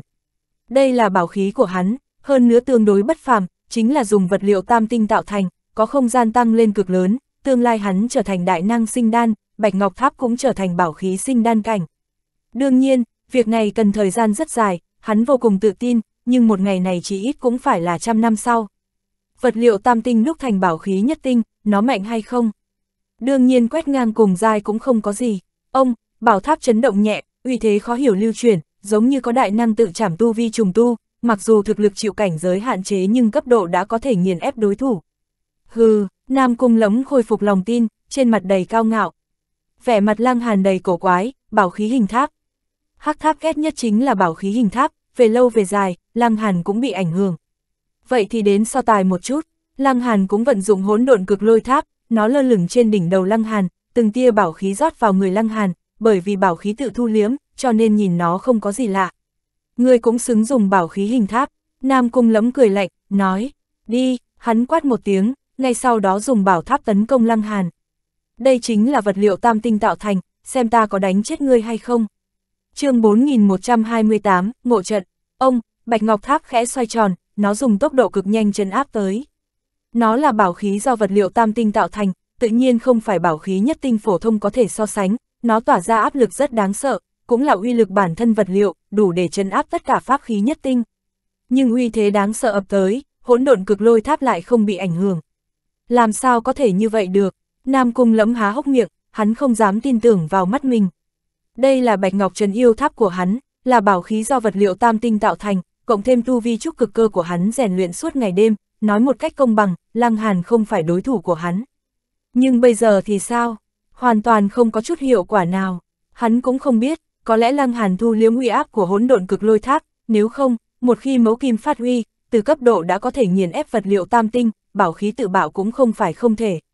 Trời đất bao la, trong tất cả tài liệu trên đời, đương nhiên mấu kim là lớn nhất, chính là đế vương trong binh khí, có thể nghiền ép tất cả tiên kim. Đến, ngươi muốn so pháp khí, ta thành toàn cho ngươi. Tâm niệm lăng hàn hơi động, một đạo thiểm điện bay ra khỏi hỗn độn cực lôi tháp và đánh thẳng vào người nam cung lẫm. Một kích của lăng hàn cực nhanh, mẫu kim là tồn tại cỡ nào, có thể đúc đế binh, cho dù hiện tại là pháp khí cấp bậc nhất tinh, nó cũng là bá chủ trong binh khí, một kích của nó không phải chút cơ cảnh có thể tránh thoát được, bằng không, mẫu kim chỉ có tiếng mà không có miếng. Nam cung lẫm lập tức trúng chiêu, dòng điện đáng sợ ập tới, hắn cảm thấy toàn thân đang run rẩy, khó chịu đến mức sắp nôn mửa. Hắn rất nhanh triệu tập Bạch Ngọc Tháp trở về, cũng sử dụng năng lượng bảo hộ bản thân. Lăng Hàn phát hiện hắn sinh ra thoái ý thì cười cười, bởi vì Nam Cung lẫm bị điện quang đánh nám cả người, trên người đối phương toàn mùi thịt.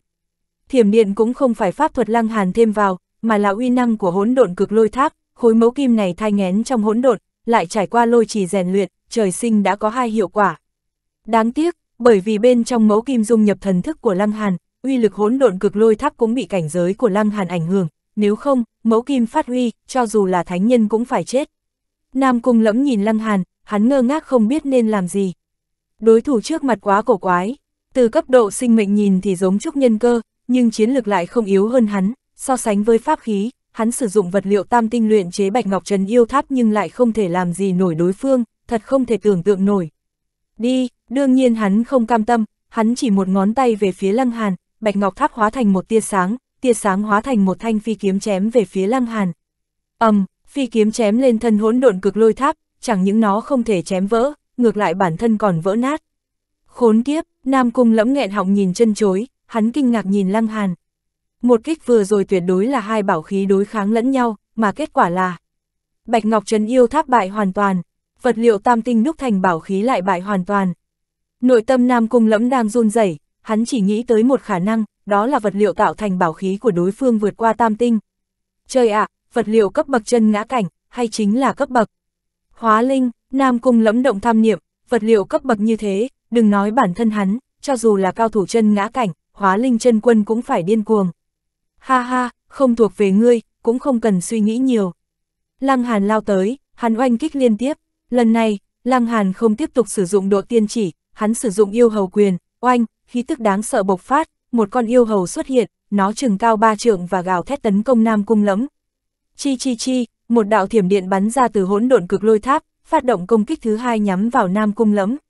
Nam Cung lẫm vội vàng vận chuyển Bạch Ngọc Tháp tiến hành phòng ngự, hắn có thể ngăn cản lực lượng yêu hầu quyền xung kích, lại không ngăn được yêu khí huyễn hóa thành yêu viên không ngừng tấn công tâm linh của hắn, hắn cực kỳ khó chịu. Thiểm điện trong hỗn độn cực lôi tháp không thể chặn đường Bạch Ngọc Tháp, chỉ có thể gọt sạch một bộ phận uy lực, thiểm điện oanh kích toàn thân Nam Cung lẫm, hắn như chết đi sống lại. Lăng Hàn cười ha ha, công kích như mưa to gió lớn, hắn rất nhanh đánh Nam Cung lẫm nằm trên mặt đất. Trúc cực cơ thì thế nào?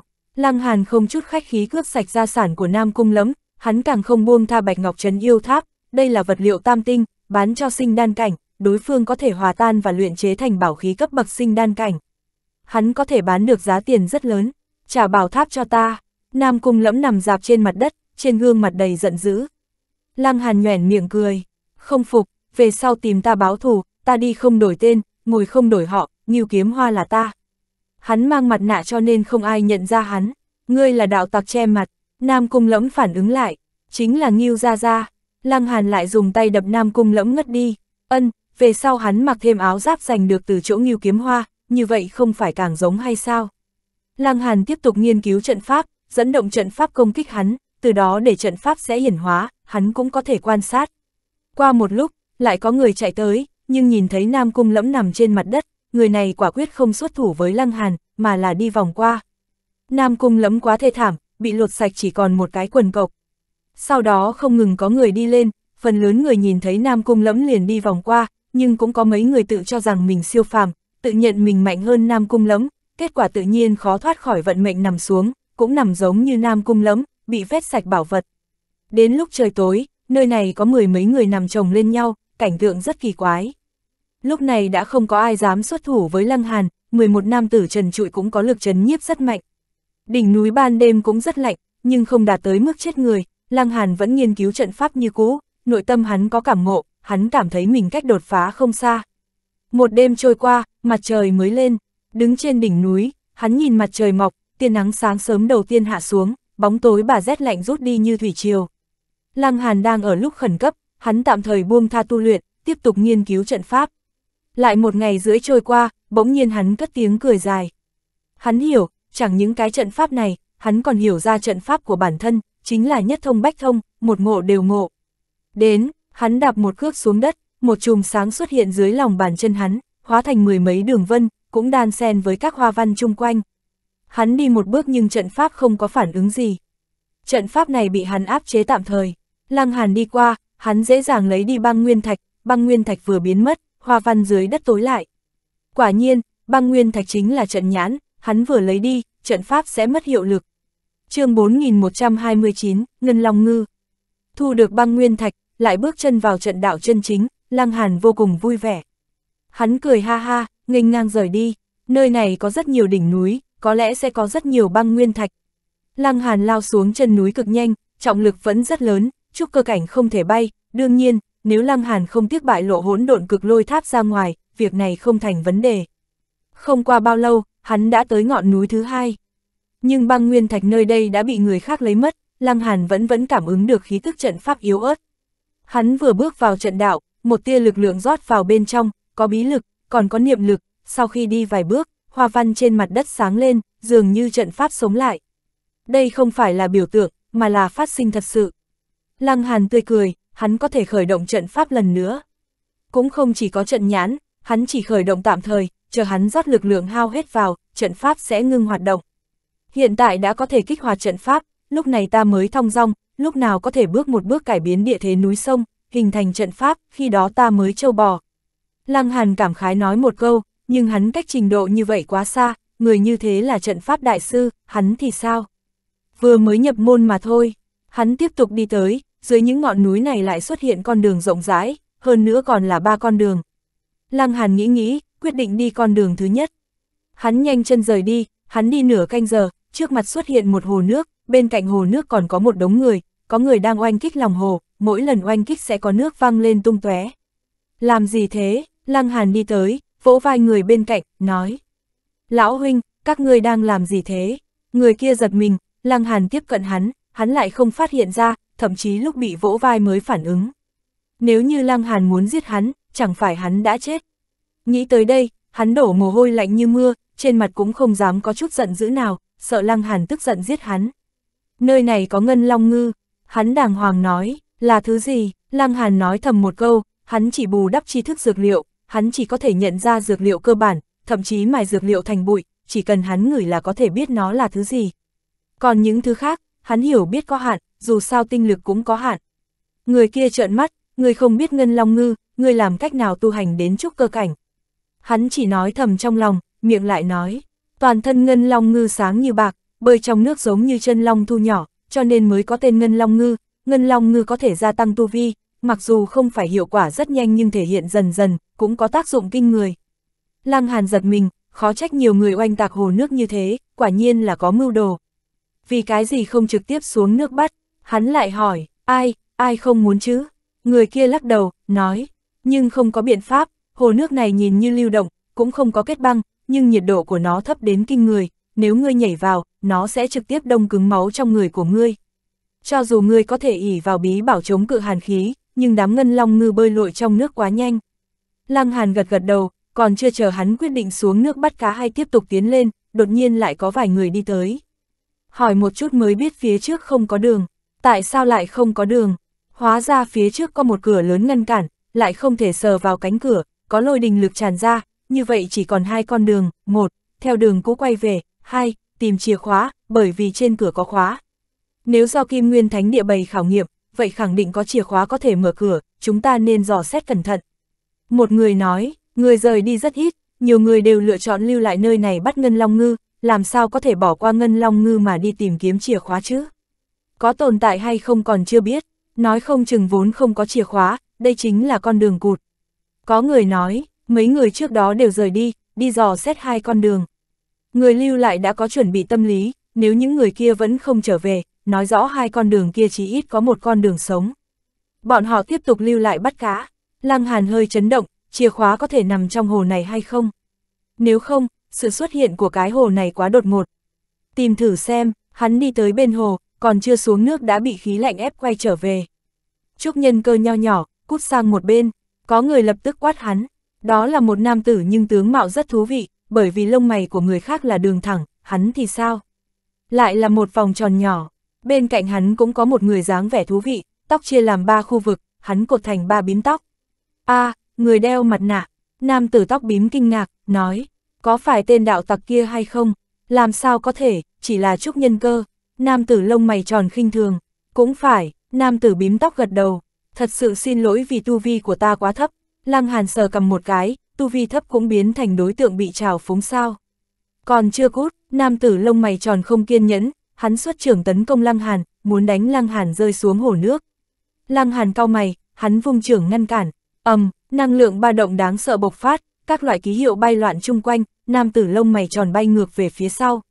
A, hắn kêu la thảm thiết, trên người đầy máu tươi, nam tử bím tóc hãi hùng khiếp vía, đây là trúc nhân cơ sao, có trúc nhân cơ mạnh như vậy. Gia hỏa này khẳng định là trúc thiên cơ thậm chí là trúc cực cơ, sau đó sử dụng công pháp đặc thù hoặc bảo khí áp chế sinh mệnh ba động, cho nên mới nhìn giống trúc nhân cơ.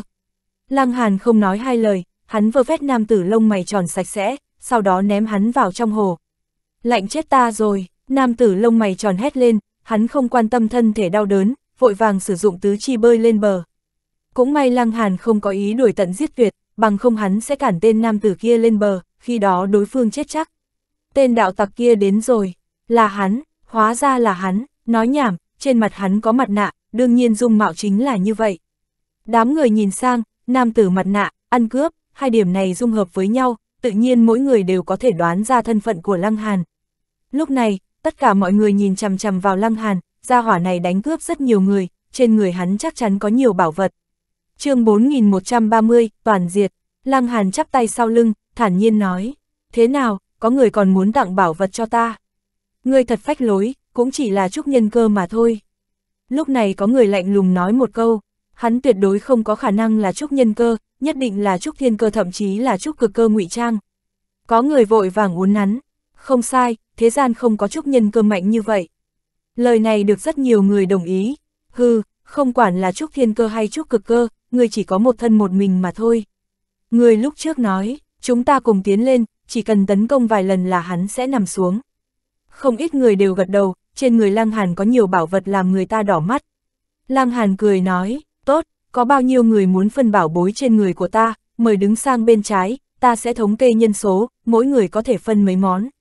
a hắn sợ, cũng phải, gia hỏa này là người cô đơn, hắn làm sao có thể đối kháng nhiều người như vậy. Không ít người đều tươi cười đi ra, đi hai bước có thể đạt được thu hoạch, cớ sao không làm. Lăng Hàn quan sát kỹ, chỉ có 35 người. Chỉ có bao nhiêu đây? Hắn cảm thấy tiếc nuối, nơi này có hơn trăm người đấy. Bớt nói nhảm, giao bảo vật ra đây.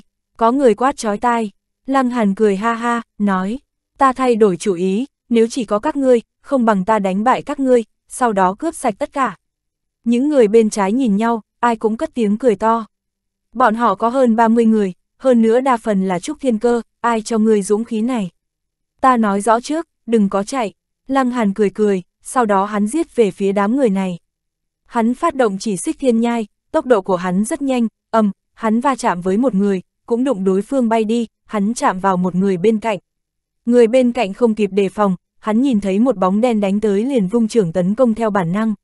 Lúc trưởng lực đánh lên thân đối phương, lúc này, hắn mới kịp phản ứng, hắn cũng không thể thu tay trở về. Ba, mọi người nhìn thấy máu thịt mơ hồ, đầu của người kia bị đánh nát bấy.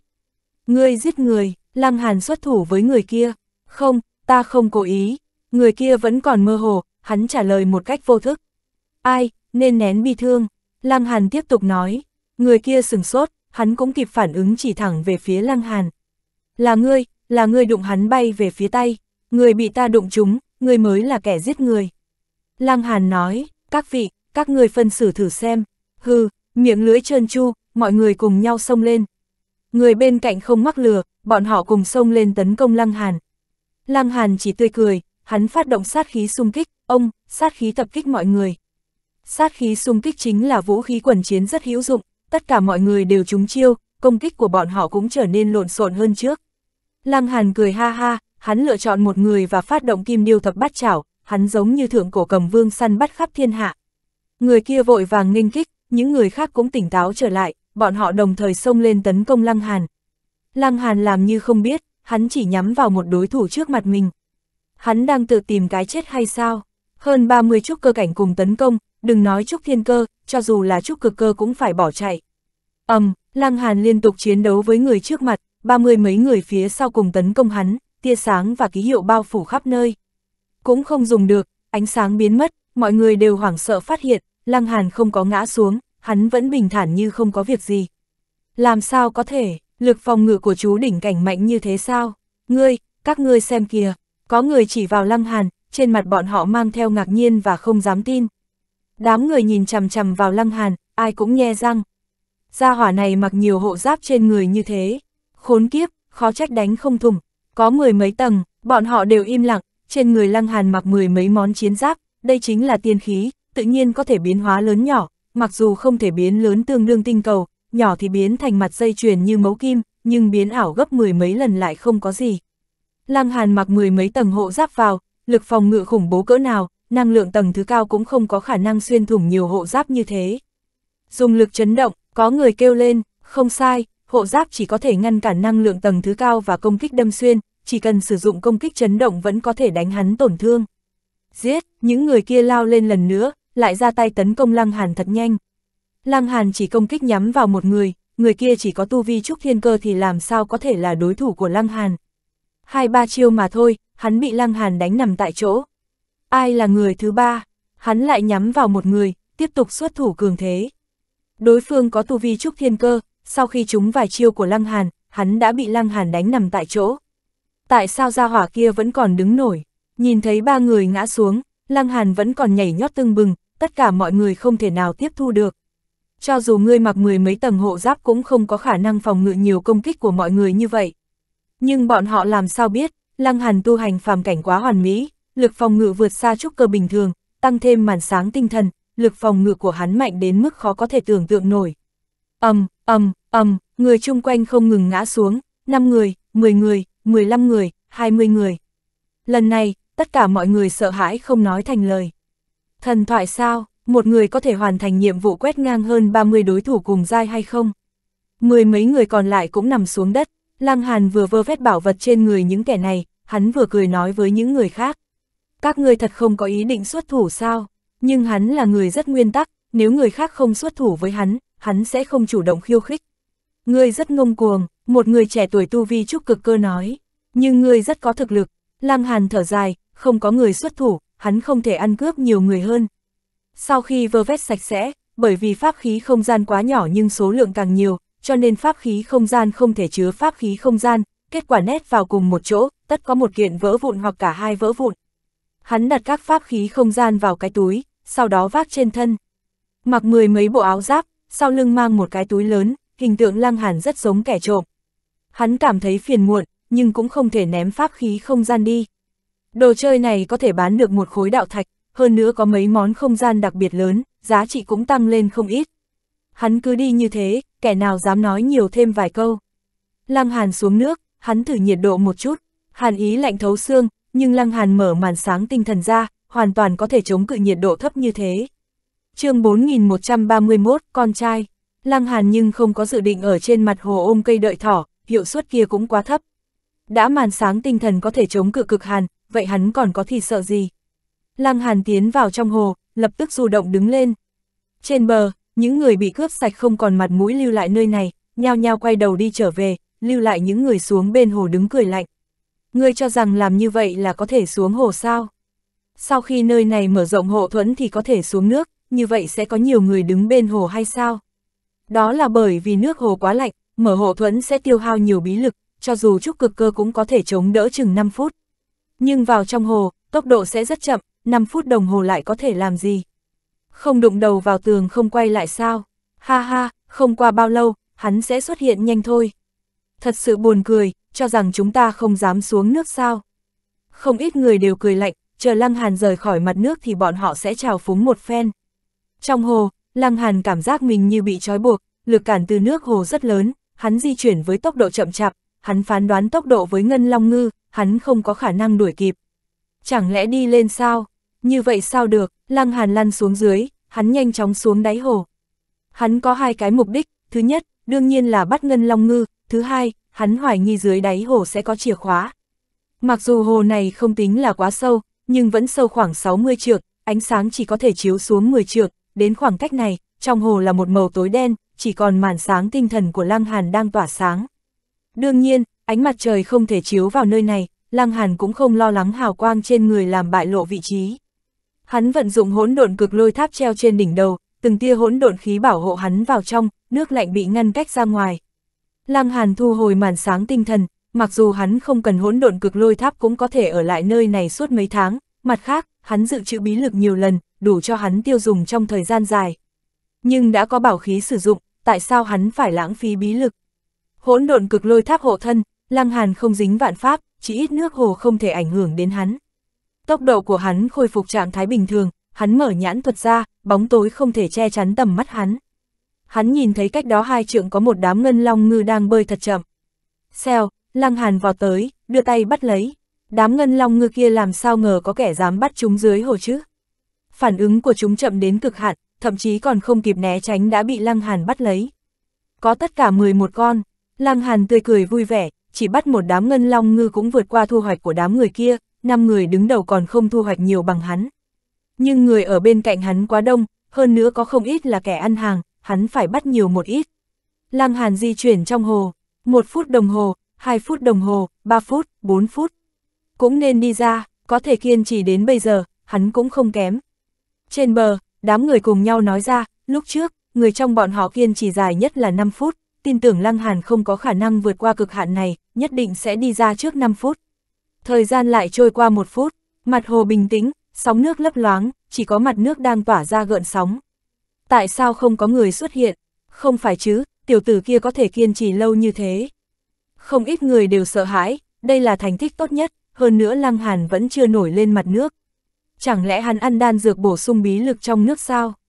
Hiện tại bí lực đan tốt nhất cũng chỉ có thể khôi phục một thành bí lực mà thôi, nếu liên tục phục dụng trong thời gian ngắn, dược hiệu sẽ không ngừng giảm phân nửa. Đúng vậy, cho nên cho dù là kẻ tài đại khí thô, nhiều lắm cũng chỉ kiên trì 6-7 phút. Tất cả mọi người đều gật đầu đồng ý, cho dù có đan đạo đại sư không tiếc trả giá chống đỡ, Lăng Hàn không thể không có cực hạn. Nhưng 6 phút qua đi, lại qua 7 phút, 8 phút, thậm chí 10 phút đồng hồ, Lăng Hàn vẫn chưa từng xuất hiện trên mặt hồ. Ngóa, gặp quỷ sao? Có người kêu to, trên mặt tràn ngập vẻ mặt không thể tưởng tượng nổi. Vẻ mặt của những người khác không tốt hơn chút nào, 10 phút đồng hồ, đã vượt qua gấp 2 lần thành tích lúc trước. Hắn có thể chết phía dưới hay không? Có khả năng, tên kia chỉ biết cậy mạnh, ta đoán hắn nhất định thừa nhận đến cực hạn, kết quả không thể nổi lên kịp và chết dưới hồ rồi. Đúng thế, hắn nhất định đã chết rồi. Không ít người đưa ra kết luận như vậy, sau khi quan sát thêm 5 phút, tất cả mọi người đều cho ra kết luận giống nhau, đó chính là Lăng Hàn đã chết. Bọn họ tiếp tục, nên làm gì thì làm gì, sau đó lại có người liên tục đi tới nơi đây. Nhưng người đi lên hai con đường kia không quay trở lại, có lẽ một con đường bị phong tỏa, một con đường đi thông suốt.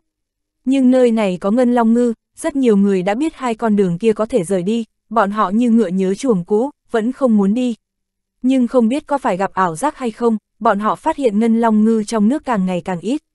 Dưới hồ, Lăng Hàn không ngừng du động, hắn thu hoạch càng ngày càng nhiều. Hắn vừa săn giết vừa tìm kiếm chìa khóa mở cửa. Nếu như chỉ là một thanh chìa khóa, nó chìm vào bùn cát, tỷ lệ tìm được rất nhỏ bé. Cho nên, nếu quả thật có chìa khóa, nó nhất định được giấu tại nơi hết sức rõ ràng. Ừm, Lăng Hàn ngừng lại, hắn nhìn một bụi san hô xuất hiện trước mặt. Vì sao trong nước ngọt lại có san hô? Lăng Hàn thử nuốt một ngụm nước, ánh mắt hắn không nhìn vào san hô, mà là nhìn vào con trai lớn bên cạnh san hô. Con trai đang mở một vỏ lên cao như bình phong, Lăng Hàn có thể nhìn thấy một hạt châu to như đầu người bên trong. Toàn thân viên châu sáng óng ánh, nó tỏa sáng bắt mắt trong nước ao. Bên cạnh san hô là một thanh chìa khóa đen như mực. Ha ha, tìm được, ánh mắt Lăng Hàn sáng lên, con trai này lớn như thế, có lẽ nó đã sống mấy trăm năm thậm chí hơn ngàn năm. Cho nên viên chân châu nhất định là vật đại bổ, dùng để làm thuốc, hiệu quả chất chắc không thua gì tiên dược. Không sai, hắn gặp niềm vui bất ngờ. Lăng Hàn bơi sang, hắn cảm giác dòng nước đang biến hóa, con trai khép vỏ nó lại. Làm như vậy là có thể ngăn cản mình sao? Lăng Hàn đánh ra một đạo sát khí xung kích, thần thức con trai bị ảnh hưởng, nó trở nên bất lực, vỏ sò vốn kín kẽ không sơ hở lại mở ra một đoạn, Lăng Hàn cũng tranh thủ đoạt viên chân châu. Lăng Hàn không có đuổi tận giết tuyệt, hắn đi lấy hạt châu và thanh chìa khóa. Đều nói thịt trai tươi, khá là đáng tiếc. Lăng Hàn lẩm bẩm, chương 4132, tình cờ gặp được. Lăng Hàn bơi lòng vòng trong hồ, nhưng ngân long ngư còn sót lại không nhiều, chỉ khoảng 10 con mà thôi. Được rồi, nên cho bọn chúng tiếp tục sinh sôi đi. Hắn nổi lên, soạt, hắn xông ra khỏi mặt nước. Cá thật là lớn, một người đang ở trong bờ hồ, hắn la hét đầy kinh ngạc, tuyệt đối không ngờ tới có một con ngân long ngư lớn như thế nhảy ra. Bọt nước bắn lên rất cao, đây là ngân long ngư vương sao. Hắn đã chuẩn bị xuất thủ kéo lên, hắn dùng bí lực quấn lấy ngư vương và kéo lên bờ. Oanh, bí lực như tơ quấn lấy lăng hàn. Lăng hàn không biết mình bị người ta xem thành ngân long ngư, hơn nữa còn là ngư vương, hắn chỉ biết có người phát động công kích vào mình, nhưng mục đích cũng không phải đẩy hắn vào chỗ chết, mà là muốn bắt giữ hắn. Ai to gan như vậy? Lăng hàn hừ một tiếng, vung quyền đáp lễ. Khốn kiếp, gặp quỷ, người kia mở to mắt nhìn, hiện tại hắn nhìn rõ tình cảnh trong hồ, cũng không phải ngư vương sông lên mặt nước, mà là một người. Hắn mới tới nơi này không lâu, tự nhiên không nhìn thấy lăng hàn xuống nước, hắn không ngờ có người đột nhiên xuất hiện dưới hồ nước. Quỷ nước, hắn tuyệt đối không tin tưởng đây là một người, bởi vì hắn biết hồ nước này lạnh cỡ nào, không ai có thể kiên trì quá 5 phút, hắn đã tới đây ít nhất 1 giờ, trong thời gian đó không có ai lặn xuống, nhiều nhất chỉ thử nhiệt độ nước mà thôi. Cho nên, người xông ra khỏi đáy hồ chính là quỷ nước. ầm, um, Lăng Hàn vung quyền đánh nát lực lượng của đối phương, dư lực chưa biến mất, lực lượng còn sót lại đánh đối phương bay ra ngoài. Nếu không phải đối phương chỉ muốn bắt giữ hắn, mà không phải xuất thủ trí tử, Lăng Hàn sẽ không hạ thủ lưu tình. Hắn nghĩ lại, đã là hiểu được, đối phương xem mình thành ngân long ngư khổng lồ. Ồ, a trời, sau khi nhìn rõ là Lăng Hàn, người bên hồ kinh ngạc, đó là những người nhìn thấy Lăng Hàn xuống nước. Đi ra, đi ra, trời ạ, hắn đã ở dưới bao lâu rồi? Sắp một ngày, ngươi là quái vật mà, lại có thể ở lại dưới đáy hồ một ngày. Ngươi có phải ngân long ngư biến thành hay không không, trời sinh có thể chống cự giá lạnh. Xèo, có người nhảy tới, đó là một nam tử trẻ tuổi, hắn lướt về phía Lăng Hàn và hỏi. Vì cái gì ngươi có thể ở dưới hồ lâu như thế? Ta quen ngươi sao? Lăng Hàn hỏi lại, người trẻ tuổi kia sững sờ, vô ý thức nói. Ngươi là kẻ nào mà ta phải biết ngươi? Mẹ nó, có biết nói chuyện hay không? Nếu ta không biết ngươi là cái dễ hành ở nơi nào, tại sao ta phải ta lời ngươi? Lăng Hàn hỏi lại, người trẻ tuổi kia giận tím mặt, bởi vì ta là nhạc hảo minh, chưa nghe nói qua, Lăng Hàn phất tay, vẻ mặt đầy xem thường, hừ, đừng tưởng rằng lúc trước đánh bại nhiều người như vậy thì có thể phách lối trước mặt ta. Nhạc hảo minh lạnh lùng nói, trong mắt của ta, thực lực của ngươi cũng chỉ như thế mà thôi. Hắn là thiên tài trúc cực cơ, tự nhiên cho rằng mình có thể đi ngang trong bí cảnh này. Lăng Hàn tươi cười, xèo, hắn xông lên tấn công nhạc hảo minh, sát khí xung kích bộc phát, nhạc hảo minh kêu lên đầy đau đớn, thức hải đau nhói, càng có cảm giác sợ hãi không thể hình dung. Hắn hoảng hốt, nếu không tự mình trải qua sẽ không biết uy năng của sát khí xung kích đáng sợ thế nào. Kỳ thật thực lực của hắn không thua gì Lăng Hàn, chỉ nói lực lượng nguyên thủy, thậm chí hắn càng vượt qua Lăng Hàn rất nhiều, nhưng tiên cơ vừa mất, hắn đã lâm vào bị động, không thể không đi tiến lên ngăn cản Lăng Hàn công kích. Lăng Hàn thét dài một tiếng, hai tay tấn công liên tục, cũng phát động yêu hầu quyền, 108 trọng điệp tấn công đối thủ. Việc này quá kinh khủng, cho dù nhạc hảo minh là thiên tài nhất tinh trúc cực cơ thì thế nào, hắn không có lực hoàn thủ, hắn vừa chậm lại một nhịp, lúc muốn xuất thủ liền bị sát khí xung kích tấn công, đầu óc không tập trung, chỉ có thể bị động phòng ngự. Không hơn trăm chiêu, nhạc hạo minh đã bị lăng hàn đánh nằm sấp dưới đất. Thấy cảnh này, vẻ mặt mọi người vô cùng nghiêm túc. Cho dù lăng hàn lúc trước dùng lực một người đánh bại 35 trúc cơ, trong đó không có người nào đạt tới trúc cực cơ, mặc dù đám người tán thành thực lực lăng hàn, nhưng bọn họ vẫn cho rằng mình không thua gì lăng hàn. Bởi vì đại đa số người cho rằng lăng hàn mặc mười mấy chiến giáp lên người, chiến giáp có thể ngăn cản đa số lực công kích thay lăng hàn. Nhưng bây giờ, lăng hàn chỉ dùng lực lượng cuồng bạo đánh bại nhạc hảo minh, cũng chứng minh thực lực đáng sợ của mình. Người này, khủng bố, lăng hàn cười cười, hắn vét sạch gia sản của nhạc hảo minh. Biết ta thiếu tiền, chủ động tặng bảo, Ngưu Kiếm Hoa ta cảm ơn. Ngươi, nhạc hảo minh nhìn chằm chằm vào mặt lăng hàn, Ngưu Kiếm Hoa, hắn nhớ kỹ cái tên này, hắn bị cướp chỉ còn lại cái quần cọc trên người, hắn ngày sau sẽ báo thù, nhất định. Đương nhiên lăng hàn sẽ không để ý, người ta chỉ có thể báo thù mưu Kiếm Hoa mà thôi. Hắn nghênh ngang rời đi, hắn đã bắt Ngân Long Ngư, chìa khóa cũng tới tay, còn lưu lại nơi này làm gì?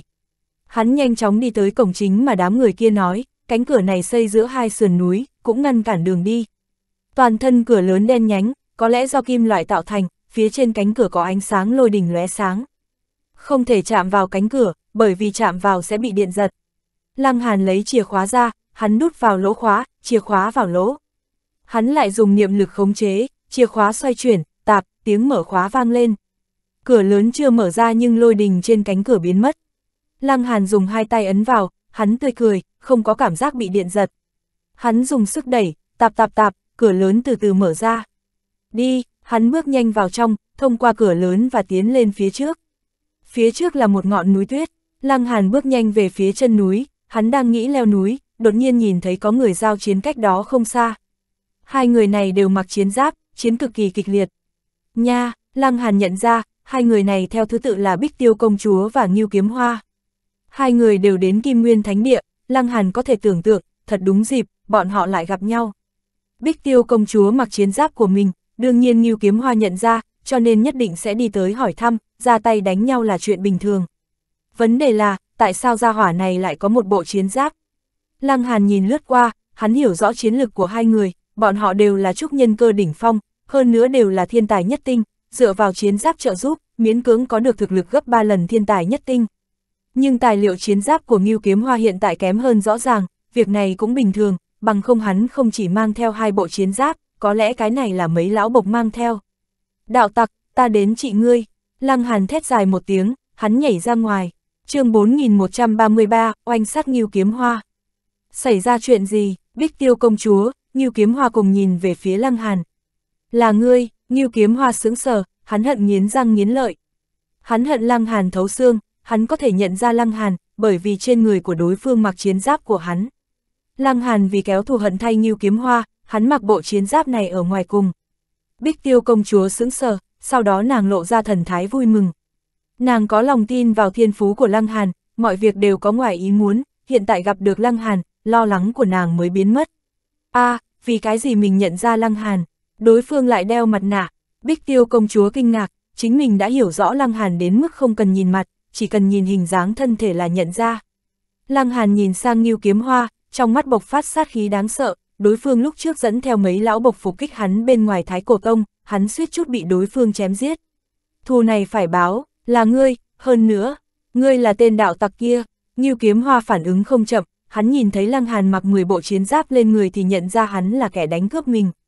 Lăng Hàn mỉm cười, sai, ngươi mới là tên đạo tặc kia, ngươi, ngươi dám vô hãm ta, Ngưu Kiếm Hoa thật thông minh, thông minh, Lăng Hàn giơ ngón tay cái lên, ngươi là đồ chết tiệt, Ngưu Kiếm Hoa giận dữ, người này quá ghê tởm, lại giả mạo mình đi ăn cướp, rội nước bẩn lên người mình, làm bẩn thanh danh của mình. Hắn gầm lên một tiếng, không có ý dây dưa với Bích Tiêu công chúa, hắn xông tới giết Lăng Hàn. Chạy đi đâu, Bích Tiêu công chúa vội vàng đuổi theo. Hiện tại Lăng Hàn đã bước vào trúc cơ nhưng bọn họ đã tới thánh địa sớm hơn, khổ tu một năm, tu vi tiến cảnh rất nhanh, nàng và Ngưu Kiếm Hoa đều đạt tới trúc nhân cơ đỉnh phong. Lăng Hàn thì sao, hắn không có điều kiện tốt như thế, có lẽ vẫn là trúc nhân cơ sơ kỳ. Nàng lo lắng Lăng Hàn không phải đối thủ, bị Ngưu Kiếm Hoa đả thương. Ầm, ầm, ầm, hai người chiến đấu với nhau, Ngưu Kiếm Hoa không thể làm gì được Bích Tiêu công chúa, Bích Tiêu công chúa cũng không thể làm gì được Ngưu Kiếm Hoa. Ngươi đi mau, Bích Tiêu công chúa sử dụng thần thức nói với Lăng Hàn, tại sao gia hỏa này lại không chạy?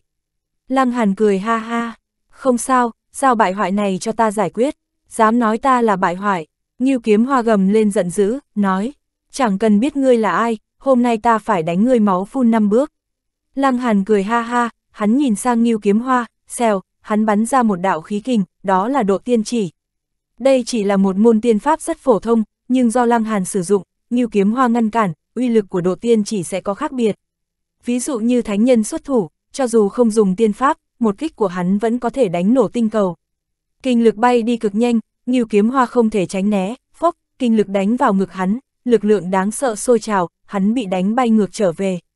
Âm, Ngưu Kiếm Hoa té xuống đất, trên gương mặt còn mang theo sợ hãi. Hắn không thể ngăn cản một chỉ của Lăng Hàn, làm sao có thể, hắn cúi đầu nhìn xuống, nhìn thấy trên chiến giáp của mình xuất hiện một vết lõm, chiến giáp đang khôi phục dần dần. Hắn hoảng sợ, uy lực một chỉ của Lăng Hàn lại có thể đánh chiến giáp của hắn lõm vào, lực lượng kia đáng sợ thế nào. Nếu không có chiến giáp bảo vệ, chẳng phải hắn sẽ bị một kích miểu sát hay sao? Đây là quái vật kinh khủng, thời điểm hắn đột phá tiên đồ, Lăng Hàn tuyệt đối vẫn là phàm cảnh, hơn nữa còn chưa đạt tới tầm bí cảnh, tại sao hắn lại có chiến lực đáng sợ như thế? Hắn bỏ dậy và cảm thấy ngực mình rất đau, cho dù có chiến giáp ngăn cản phần lớn uy lực một chỉ của Lăng Hàn, nhưng vẫn có một bộ phận uy lực đánh vào người hắn, hắn cảm thấy mình đã gãy vài khối xương. Thực lực chênh lệch quá lớn, Ngưu Kiếm Hoa không do dự nữa, hắn xoay người bỏ chạy thật nhanh.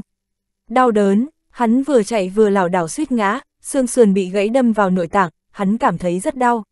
Nhưng vì mạng sống, hắn phải nhịn xuống và bỏ chạy. Bích Tiêu công chúa đứng nhìn và sững sờ, nàng biết Lăng Hàn yêu nghiệt, nhưng tuyệt đối không cho rằng Lăng Hàn bước vào tiên đồ vẫn còn chiến lược kinh khủng như thế. Dù sao, trên tiên đồ, tranh lệch giữa thiên tài sẽ rút ngắn rất nhiều, cảnh giới mới là vương đạo. Nhưng Lăng Hàn lại lật đổ nhận thức của nàng. Chính vì như thế, sau khi Ngưu Kiếm Hoa chạy đi thật xa thì nàng mới kịp phản ứng. Không thể nhìn người này bỏ chạy, bằng không hắn mời đại năng hóa linh cảnh đến, khi đó không phải chuyện đùa. Lăng Hàn, mau đuổi theo, nàng kêu lên, vừa hô vừa truy kích, Lăng Hàn cười nói, không vội, hắn bước đi từ từ, hoàn toàn không vội. Bích tiêu công chúa im lặng, tại sao ngươi không nhanh chấm dứt hậu hoạn? Ngưu kiếm hoa cũng nhìn thấy, hắn cười lạnh, chỉ cần hắn chạy thoát lần này, hắn sẽ nghĩ biện pháp trở về tinh cầu của mình, sau đó mời cao thủ đến tiêu diệt Lăng Hàn. Giết một gia hỏa trúc cơ, chú đỉnh là đủ rồi, hoàn toàn không cần kinh động đến lão gia tử. ầm, um, hắn còn chưa nghĩ xong, đột nhiên thân thể chấn động, sau đó hắn bay lên và va chạm mạnh vào một gốc đại thụ. Thời điểm hắn ngã xuống đất, thân thể hắn như tan ra từng mảnh, cũng không còn chút khí lực nào. Đã xảy ra chuyện gì? Hắn hoảng sợ phát hiện, Lăng Hàn đang đứng bên cạnh mình.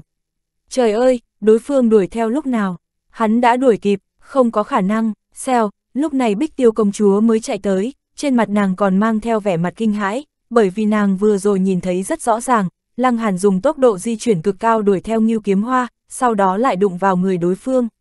Tốc độ khủng khiếp, lực lượng kinh khủng, Lăng Hàn tươi cười, hắn nói với Bích Tiêu công chúa. Ta đã nói không cần gấp, đúng không? Đúng, người châu bò, người nói đương nhiên đều đúng. Bích Tiêu công chúa không nói gì nữa, trong mắt nàng vẫn còn kinh hãi. Lăng Hàn cướp sạch Ngưu Kiếm Hoa một phen, gia hỏa này hiện tại rất nghèo, trừ bộ chiến giáp trên người ra, hắn không còn thứ gì khác. Ngưu Kiếm Hoa bi vẫn gần chết, lần thứ hai, đây đã là lần thứ hai. Lăng Hàn cười cười và lên tiếng an ủi hắn, yên tâm, không có lần thứ ba.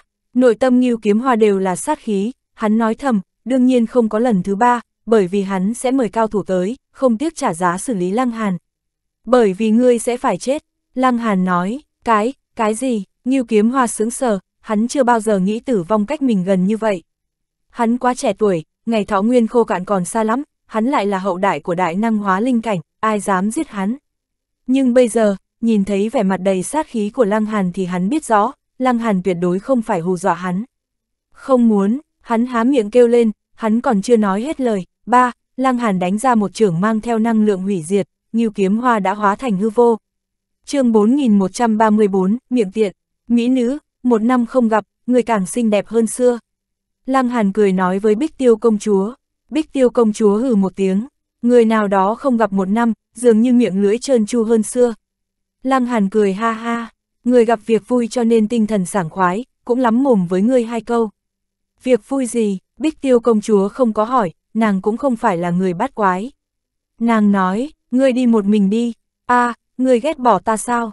lang Hàn cười nói, Bích Tiêu công chúa lắc đầu, thực lực của ta quá yếu, chỉ liên lụy đến ngươi. Hóa ra như thế, lang Hàn cười cười, không sao, ta rất mạnh, Bích Tiêu công chúa vẫn lắc đầu, ta muốn dựa vào thực lực bản thân đứng vững tại nơi này, ngồi tại nơi mà ta nên ngồi. Lăng Hàn im lặng một lúc, gật đầu nói, tốt, vậy ta đi trước. Hắn tôn trọng ý nghĩ của đối phương, hắn nhanh chóng rời đi. Bích tiêu công chúa nhìn bóng lưng hắn rời đi, sau khi Lăng Hàn biến mất vẫn không thu hồi ánh mắt, hơi si, hơi ngốc. Nàng không cao ngạo giống như nàng vừa nói, không đồng hành với Lăng Hàn là vì không muốn trở thành gánh nặng của hắn. Nàng nguyện ý ở lại một nơi hẻo lánh không đáng chú ý nhìn Lăng Hàn tỏa sáng khắp thiên hạ. Nói tới hiểu rõ nữ nhân, Lăng Hàn kém xa thiên phú võ đạo, đan đạo và trận đạo, hắn thực sự cho rằng Bích Tiêu công chúa tâm cao khí ngạo, lúc này mới cự tuyệt đồng hành cùng hắn. Đúng vậy, mọi người là đồng liêu, giúp lẫn nhau cũng không có cái gì. Hắn tự nói, hắn nhanh chóng đi lên núi, nhưng trận pháp nơi này đã phai nhạt, hiển nhiên băng nguyên thạch đã bị người khác lấy đi. Lăng Hàn không dừng lại, hắn tiếp tục tiến lên phía trước.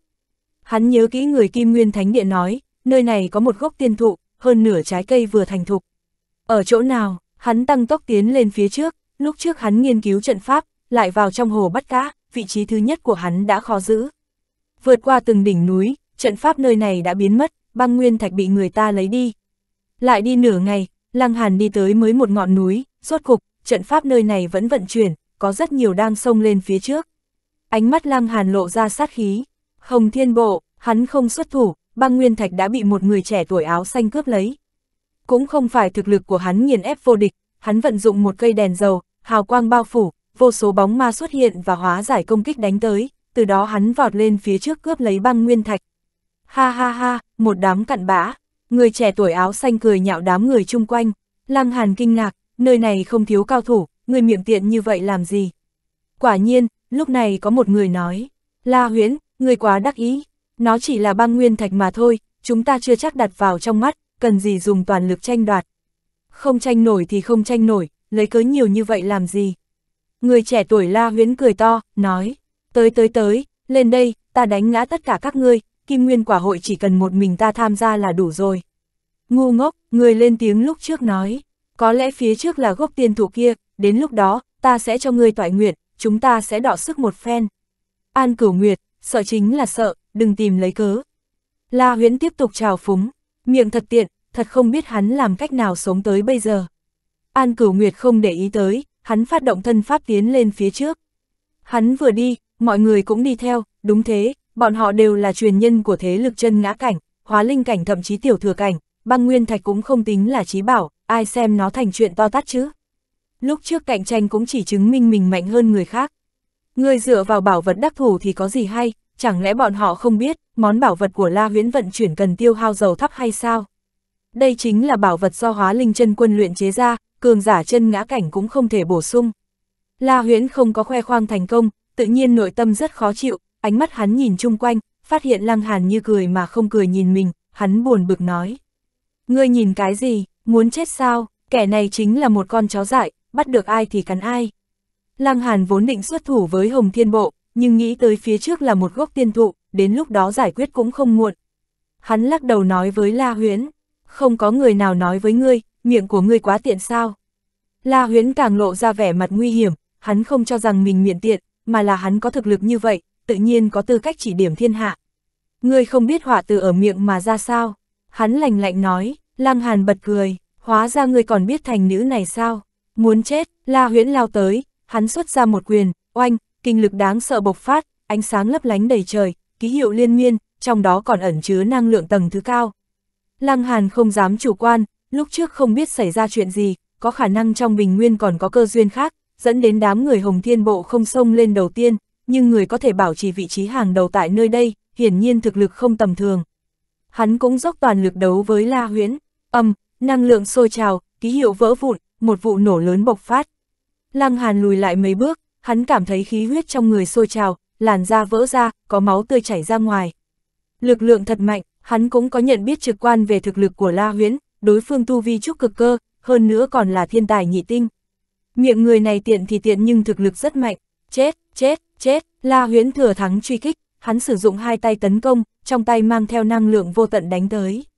Loại cặn bã như ngươi dám chỉ trích ta, chết, đi chết đi, Lăng Hàn hừ một tiếng, sát khí xung kích tấn công đối thủ, La Huyễn rên rỉ, vẻ mặt thống khổ và dừng công kích.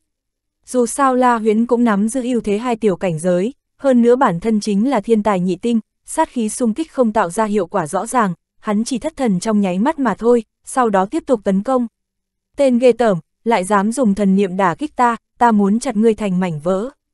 Việc này càng kích thích La Huyễn, hắn càng điên cuồng hơn trước. Đương nhiên Lăng Hàn sẽ không để ý, hắn lại vận dụng sát khí xung kích tấn công, hắn triển khai yêu hầu quyền va chạm khí lực với La Huyễn. Oanh, oanh, oanh, bị sát khí trùng kích, thực lực La Huyễn cũng bị ảnh hưởng, tăng thêm tần suất công kích của yêu hầu quyền, càng làm chiến lực Lăng Hàn không kém gì La Huyễn. Ghê tởm, ghê tởm, La Huyễn gầm lên nhưng hắn không có biện pháp gì, cho dù hắn đối kháng như thế nào cũng không thể miễn dịch sát khí xung kích. Rõ ràng thực lực của hắn chiếm ưu thế tuyệt đối. Trảm tiên thuật, hắn vận dụng tuyệt chiêu, trong người bộc phát khí tức đáng sợ. Xoát, một tia sáng chém thẳng vào người Lăng Hàn, tốc độ cực nhanh, Lăng Hàn không thể tránh né. chương 4135, Quỷ Minh Đăng. May mắn mặc thêm vài bộ áo giáp, Lăng Hàn cúi đầu nhìn xuống, tia sáng gọt sạch toàn bộ tay trái của áo giáp, cũng cắt một đường vào da, hơn nữa còn có máu tươi đang tuôn ra ngoài. Cũng may, đó chỉ là một vết thương rất nhỏ, bằng không sẽ không phải máu tươi chảy ra, mà là cả cánh tay bị chém đứt. Khốn kiếp, thật biến thái. La huyễn thấy thế cũng sướng sờ, trong suy nghĩ của hắn, một kích vừa rồi sẽ chém đứt cánh tay trái của Lăng Hàn, nhưng bây giờ chỉ chém rách ra và chảy một ít máu. Có người biến thái như người không, mặc nhiều chiến giáp lên người như thế. Mục đích chủ yếu của chiến giáp không phải phòng ngự, mà là mượn dùng năng lượng chiến giáp gia tăng chiến lực.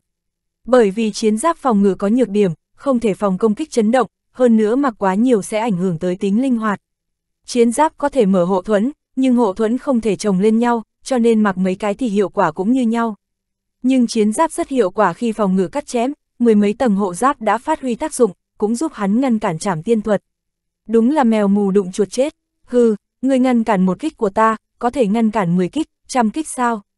La huyến cười lạnh, chỉ cần hắn oanh kích thêm vài lần, cho dù ngươi mặc mười mấy cái áo giáp thì thế nào, vẫn bị hắn chém nát. Lăng Hàn bình thản nói, ngươi có thể phát động đại chiêu như vậy bao nhiêu lần? La huyễn ngừng lại, uy lực tiên pháp càng mạnh, phụ tải sẽ càng lớn, hắn không thể dùng được mấy lần. Hắn hừ một tiếng, đủ thu thập ngươi, vậy ngươi thử xem, Lăng Hàn không sợ, hắn vươn tay ra, suy, một ngọn lửa nhỏ xuất hiện. Thiên đạo hỏa, cũng không phải thiên đạo hỏa hắn thu hoạch được trong hẻm núi hỏa diễm, mà là Lăng Hàn lĩnh ngộ qua ký hiệu, từ đó câu thông năng lượng tầng thứ cao. La huyễn thấy thế liền cười ha ha, dựa vào ngọn lửa nhỏ đối kháng mình sao. Đáng tiếc, hắn sắp không cười nổi, ngọn lửa nhỏ không đơn giản, La huyễn cuồng thì cuồng, có thiên tài nhị tinh nào là kẻ ngu ngốc sao? Tương phản, hắn thông minh hơn người, nhãn lực cao minh. Năng lượng tầng thứ cao có phân chia phẩm giai, hỏa diễm kia mang cho hắn cảm giác. Dường như nó là hỏa diễm mạnh nhất trong thiên hạ, cũng có thể thiêu chết thánh nhân.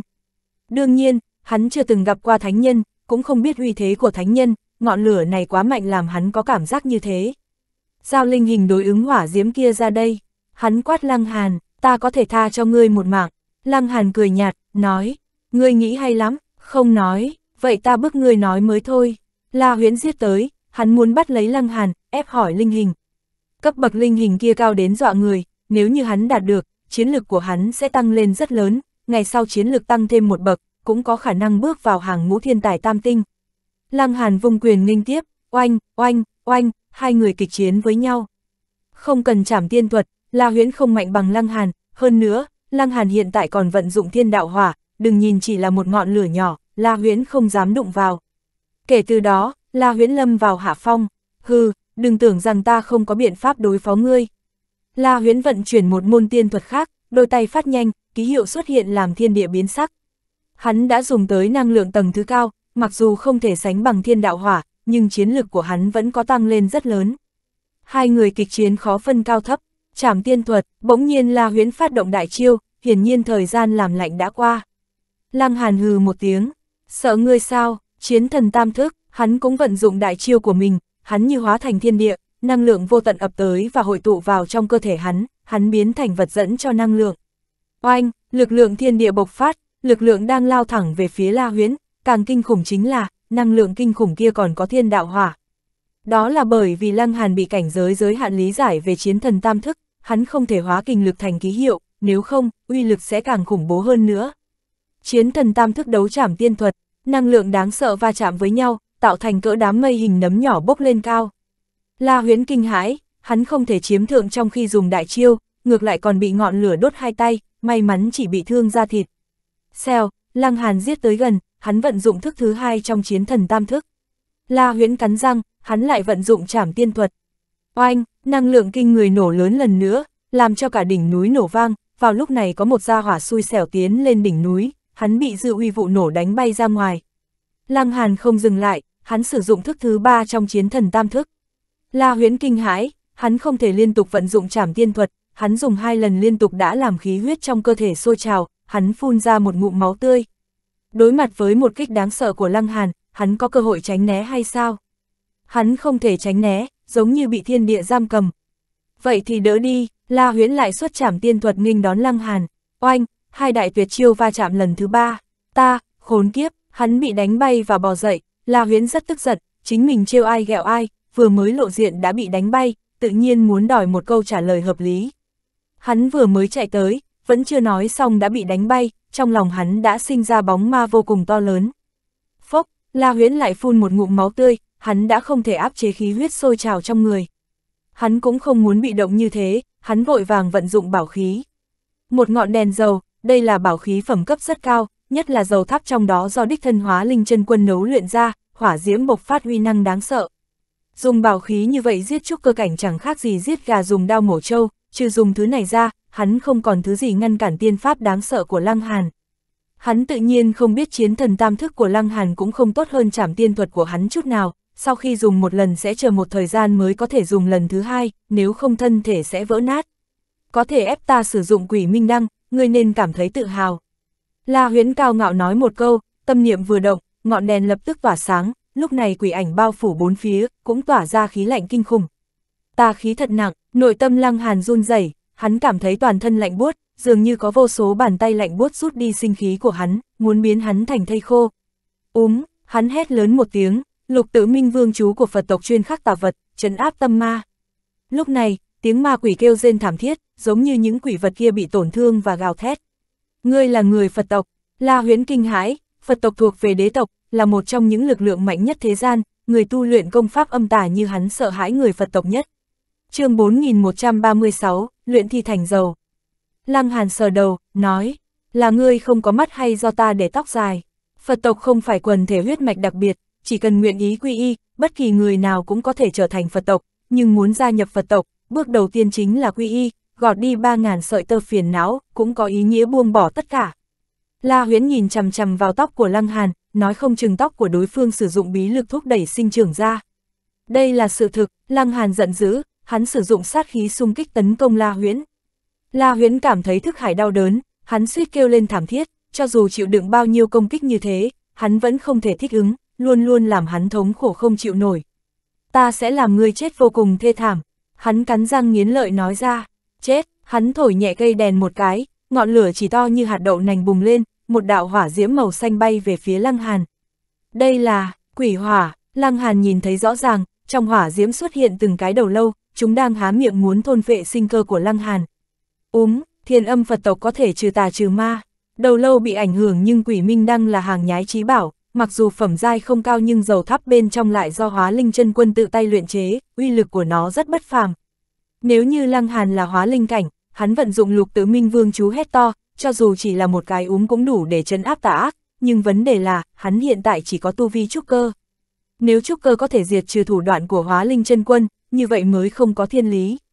Ha ha ha, tiểu tử vô chi, la huyến ngạo mạn, hiện tại quỷ hỏa đang bao vây lăng hàn, đối phương lên trời không đường, xuống đất không cửa, chỉ có thể chờ chết. Dầu trong đèn này do hóa linh chân quân luyện chế, nó sử dụng vật liệu gì? Chí ít là thi đầu của chú đỉnh cảnh, mẹ nó, khó trách như thế tà. Lăng Hàn ánh mắt mãnh liệt, lại dùng thi thể luyện khí, thật đáng chết, người đã chết, lợi dụng phế vật mà thôi, như vậy mới không gọi là lãng phí. La huyến cười hắc hắc, nói, ngươi yên tâm, mặc dù ngươi mới là trúc cơ, ta sẽ không lãng phí, ta sẽ đích thân luyện thi thể của ngươi thành thi dầu. Luyện em gái ngươi, Lăng Hàn hét lớn một tiếng, xèo, thiên văn ngọc bay ra ngoài. La huyễn đang đắc ý rào rạt, hắn cho rằng Lăng Hàn như người sắp chết, hắn không ngờ Lăng Hần còn đại sát khí chưa vận dụng. Tốc độ 30 lần vận tốc âm thanh trùng kích, khoảng cách giữa hai người là 10 trượng, cần bao nhiêu thời gian.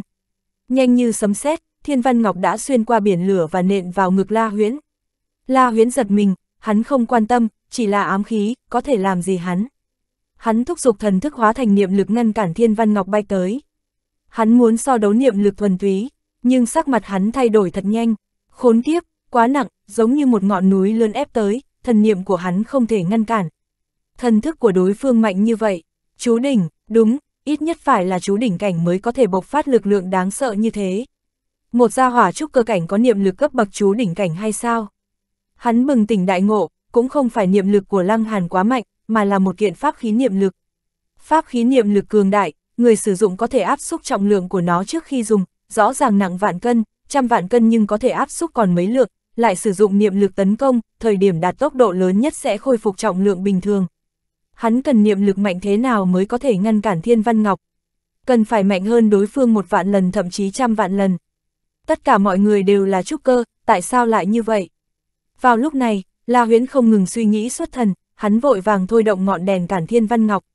Ba, một tiếng va chạm vang lên, máu tươi bắn tung tóe, tay phải của La Huyễn bị đánh nát bấy, hắn cũng không thể nắm chặt ngọn đèn trong tay, quỷ minh đang bay một đường vòng cung và rơi xuống đất. A, La Huyễn kêu thảm thiết, một tay bị đánh nát, hắn cảm thấy rất đau nhức, hắn càng đau lòng chính là, thiếu đi một cánh tay, chiến lực của hắn sẽ giảm rất mạnh, sau này có thể đưa thân vào hàng ngũ thiên kiêu được sao? Giết người luyện thi, thiên địa khó dung, Lăng Hàn giết tới phía trước, nói, tiễn ngươi lên đường, La Huyễn vội vàng giữ vững tinh thần, hiện tại cũng không phải thời điểm kêu đau. Hắn đuổi theo ngọn đèn kia, hiện tại hắn thiếu một một tay, chiến lực giảm mạnh, nhất định phải dựa vào uy lực của pháp khí, bằng không hắn sẽ bị Lăng Hàn đánh thành cặn bã. Lăng Hàn sẽ không cho hắn đạt thành mục đích, hắn phát động chỉ xích thiên nhai, ầm, cũng đụng mạnh vào thân thể La Huyễn. La Huyễn nhìn thấy ngón tay của mình sắp chạm vào quỷ minh đăng, đột nhiên có lực lượng to lớn đánh tới, thân thể hắn bay ngược ra xa. Không, hắn nhìn thấy quỷ minh đăng cách mình càng ngày càng xa, hắn đau lòng giống to một tiếng. Lăng Hàn hừ một tiếng, hắn đưa tay bắt lấy quỷ minh đăng, vào lúc duỗi tay ra, đột nhiên nội tâm hắn cảm thấy nguy hiểm rất mạnh. Hắn vội vàng rút tay về, không chút do dự vận chuyển màn sáng tinh thần. Oanh, một đám quỷ hỏa bay ra và bao phủ hắn vào trong. Màn sáng tinh thần bị nung chảy nhanh chóng, quỷ hỏa rất mạnh, không nói uy lực đạt đến chú đỉnh cảnh nhưng chắc chắn vượt hơn xa trúc cực cơ. Lăng Hàn không thể không vận dụng hỗn độn cực lôi tháp, bảo tháp xuất hiện trên đỉnh đầu và hỗn độn khí bao phủ hắn vào trong. Ha ha ha ha, La Huyễn cười to, vừa rồi hắn giả vờ tức giận, trên thực tế quỷ minh đang tương dung với thần trí của hắn, căn bản không cần tiếp xúc thực tế vẫn có thể phát huy ra uy lực đáng sợ. Lăng Hàn tới gần như thế, hắn bị quỷ hỏa bao phủ, chỉ sợ hắn sẽ bị đốt thành thây khô. Chỉ có một biện pháp sống sót khi đối mặt với quỷ minh đăng, đó là nhìn thấy liền bỏ chạy, đừng cho quỷ minh đăng có cơ hội phát huy uy lực. Nhưng tiếng cười to của hắn im bật, xảy ra chuyện gì, Lăng Hàn vận dụng một bảo tháp là có thể ngăn cản quỷ hỏa. Đây chính là quỷ hỏa do hóa linh chân quân luyện chế mà thành, quỷ hỏa có thể tạo thành uy hiếp với chú đỉnh cảnh, hiện tại không thể tiêu diệt một tên trúc cơ. Không, không thể đốt phòng ngự từ bảo khí của một tên trúc cơ cảnh.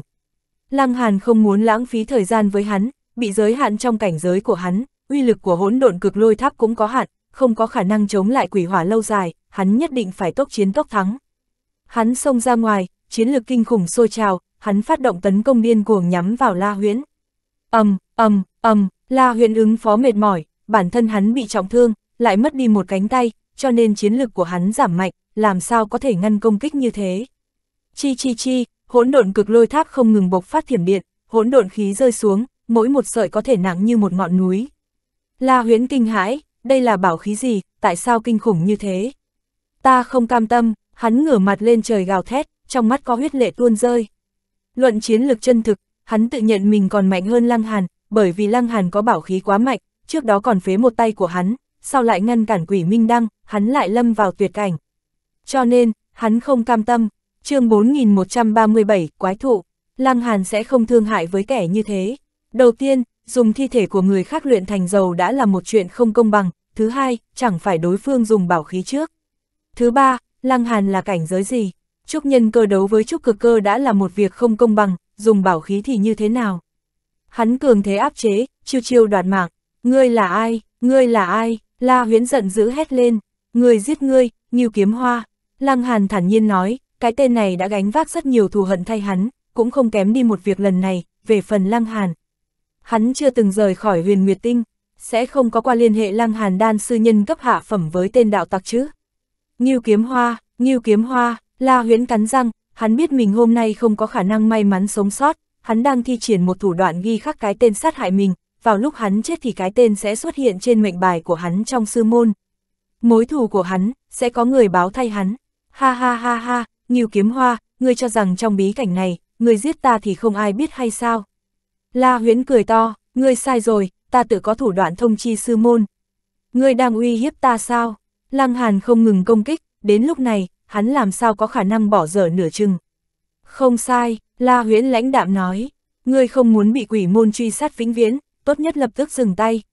Ta và ngươi cùng thế hệ, nếu ngươi giết ta, ngươi sẽ kết tử thù với quỷ môn. Lăng Hàn cười ha ha và nói, ta chính là đạo tử Phật tộc, ta sẽ sợ loại yêu ma quỷ quái như ngươi sao? Khốn kiếp, không phải ngươi lúc trước nói không phải người Phật tộc sao, tại sao hiện tại biến thành đạo tử Phật tộc rồi?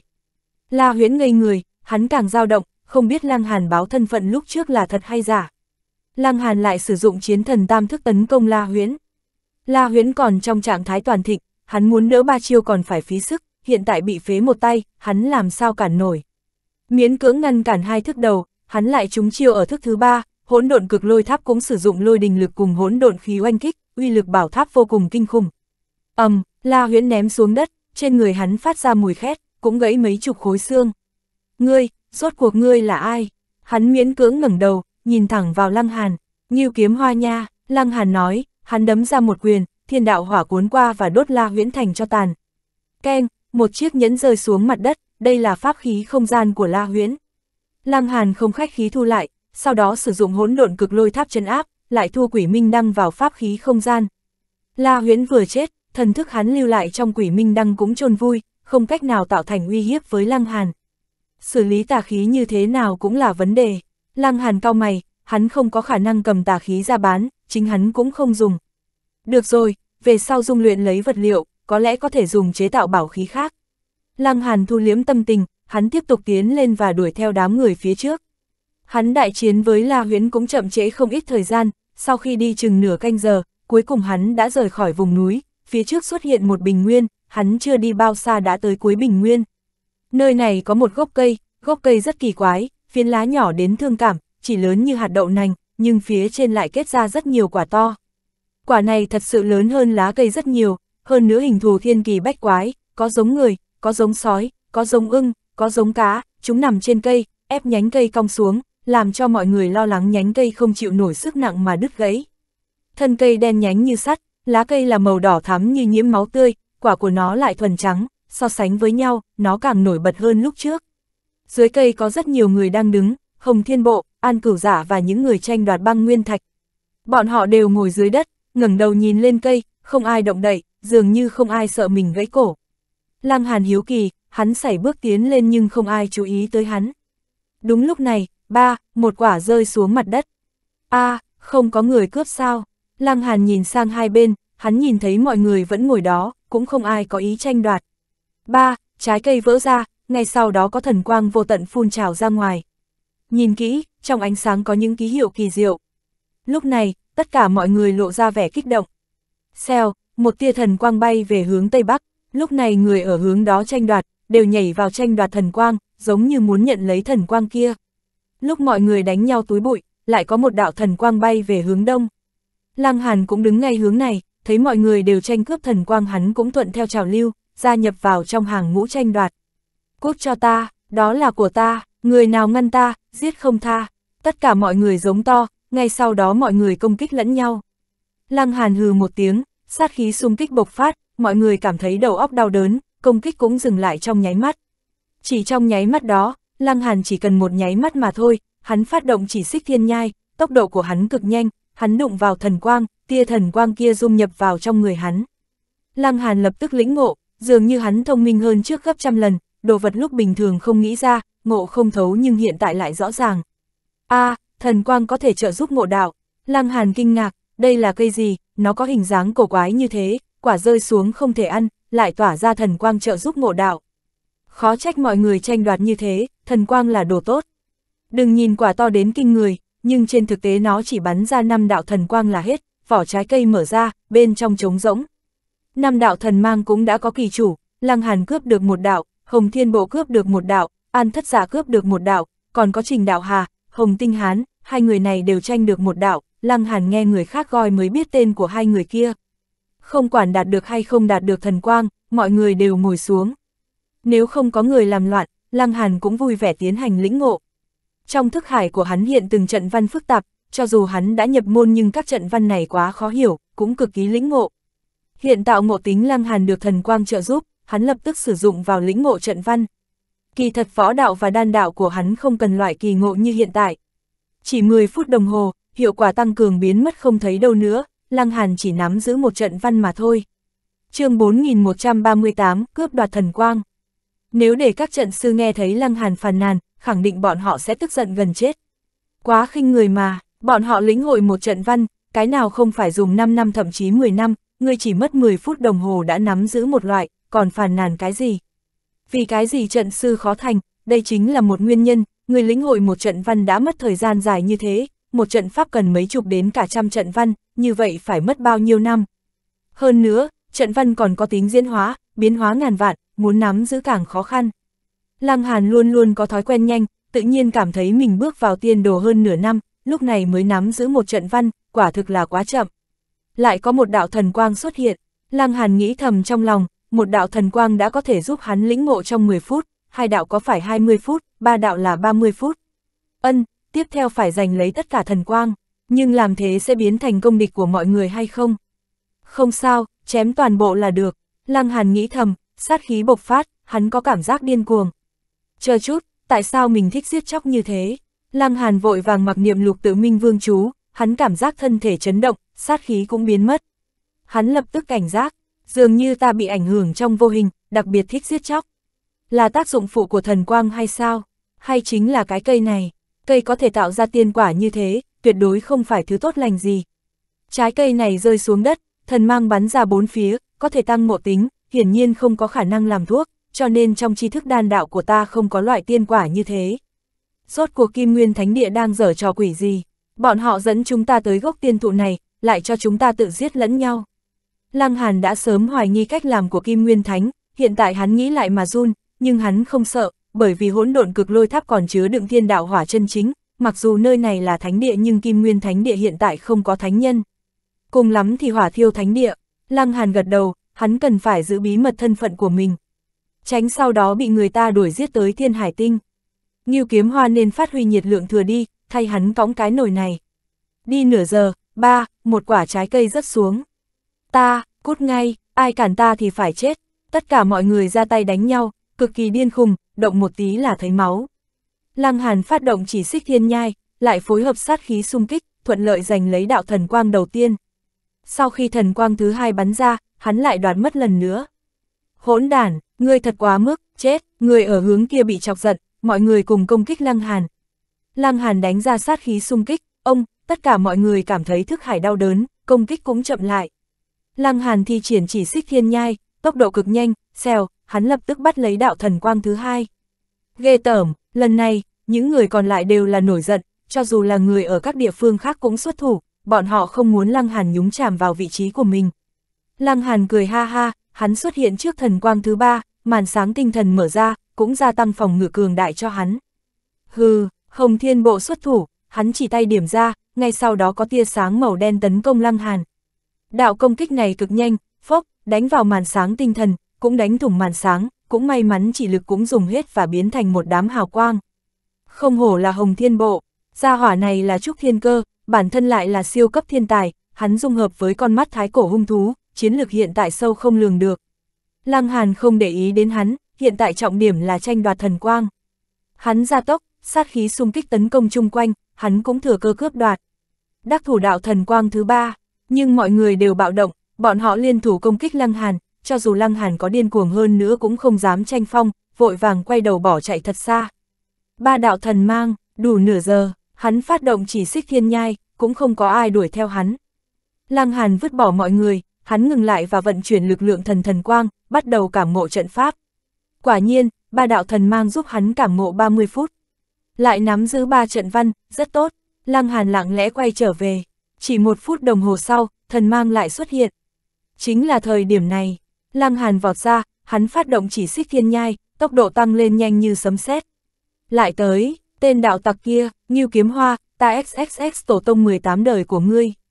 Tất cả mọi người hận nghiến răng nghiến lợi, hận không thể bầm thây Lăng Hàn thành vạn đoạn.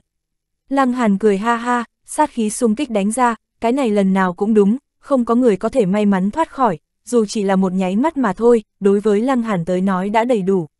Hắn so tất cả mọi người là nhanh hơn tuyến một, thần quang nhập thể.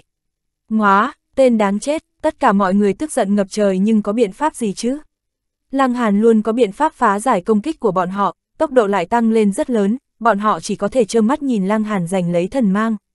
Cảm giác này thật không tệ, Lăng Hàn cười ha ha, hắn như long vào biển rộng, tốc độ cực nhanh, hắn vòng qua tiên thụ và chờ đợi thần quang thứ hai xuất hiện. Nằm mơ, tất cả mọi người giận dữ, bọn họ vận dụng bảo khí tấn công Lăng Hàn. Hiện tại có quá nhiều người, bảo khí vừa xuất hiện đã dẫn phát đại loạn. Nơi này có một loại khí tức ảnh hưởng đến mọi người, cũng làm mọi người trở nên khát máu, hiện tại đã mở giết chóc, mọi người sẽ chém giết không ngừng. Hỗn chiến bộc phát, mỗi người đều đỏ mắt, tùy ý chọn một người làm đối thủ, cũng không cần biết đó là ai. Cho dù như vậy, nơi này vẫn có người giữ vững bình tĩnh. Lăng Hàn có lục tử minh vương chú, những người khác cũng có thủ đoạn của mình, trên người Hồng Thiên Bộ, An Cửu Dạ, Trình Đạo Hà đều có thần quang lưu chuyển chống lại thứ ảnh hưởng thần trí bọn họ. Bọn họ vẫn đuổi theo thần quang, lại vừa phòng ngự những người khác tấn công điên cuồng. Nhưng luận tốc độ, bọn họ không sánh bằng Lăng Hàn, trong năm đạo thần quang, Lăng Hàn độc chiếm ba đạo, như vậy là đủ rồi, nhiều hơn sẽ lãng phí. Lăng Hàn không còn ham chiến, hắn lập tức quay đầu rời đi. Kim Nguyên Thánh Địa, ba người trẻ tuổi khí lượng vô thượng đang nhìn vào ngọc bích trên vách tường, trên ngọc bích là cảnh tượng đám người Lăng Hàn, Hồng Thiên Bộ đang tranh đoạt dưới tiên thụ. Lão thất, ngươi cho rằng những người này, ai có thực lực mạnh nhất? Một nam tử áo trắng nói, hắn có dung mạo như ngọc thạch điêu khắc mà thành, mi tâm có một nốt ruồi son nhỏ. Người bị hắn gọi là lão thất có gương mặt anh Tuấn, hắn mặc trường sam màu vàng, trên vai mang theo trường kiếm, lại có phần khí chất tiêu sái. Nếu có đệ tử Kim Nguyên Thánh Địa ở nơi này, bọn họ sẽ nhận ra hắn chính là thập nhị tinh sứ tiếng tăm lừng lẫy trong thánh địa. Nam tử áo trắng tên là Hậu Vĩnh Chính, đứng hàng thứ 5, thanh niên áo vàng là Thị An, đứng hàng thứ 7, người thứ ba là Ôn Phi Văn, đứng hàng thứ 9. chương 4139, 12 nhân tuyển. Đương nhiên là Hồng Thiên Bộ, Thị An nói, Hậu Vĩnh Chính kinh ngạc, nói, vì cái gì ngươi không coi trọng tên đạo tặc kia, Nghiêu kiếm hoa sao, thì An lắc đầu, nói, mặc dù thực lực của hắn không tệ nhưng phần lớn dựa vào bảo vật và thân pháp thủ thắng, cho nên, ta cảm thấy Hồng Thiên Bộ mạnh hơn. An Cửu Nguyệt thì sao? Ôn Phi Văn nói chen vào, còn có Trình Đạo Hà, bọn họ không kém hơn Hồng Thiên Bộ.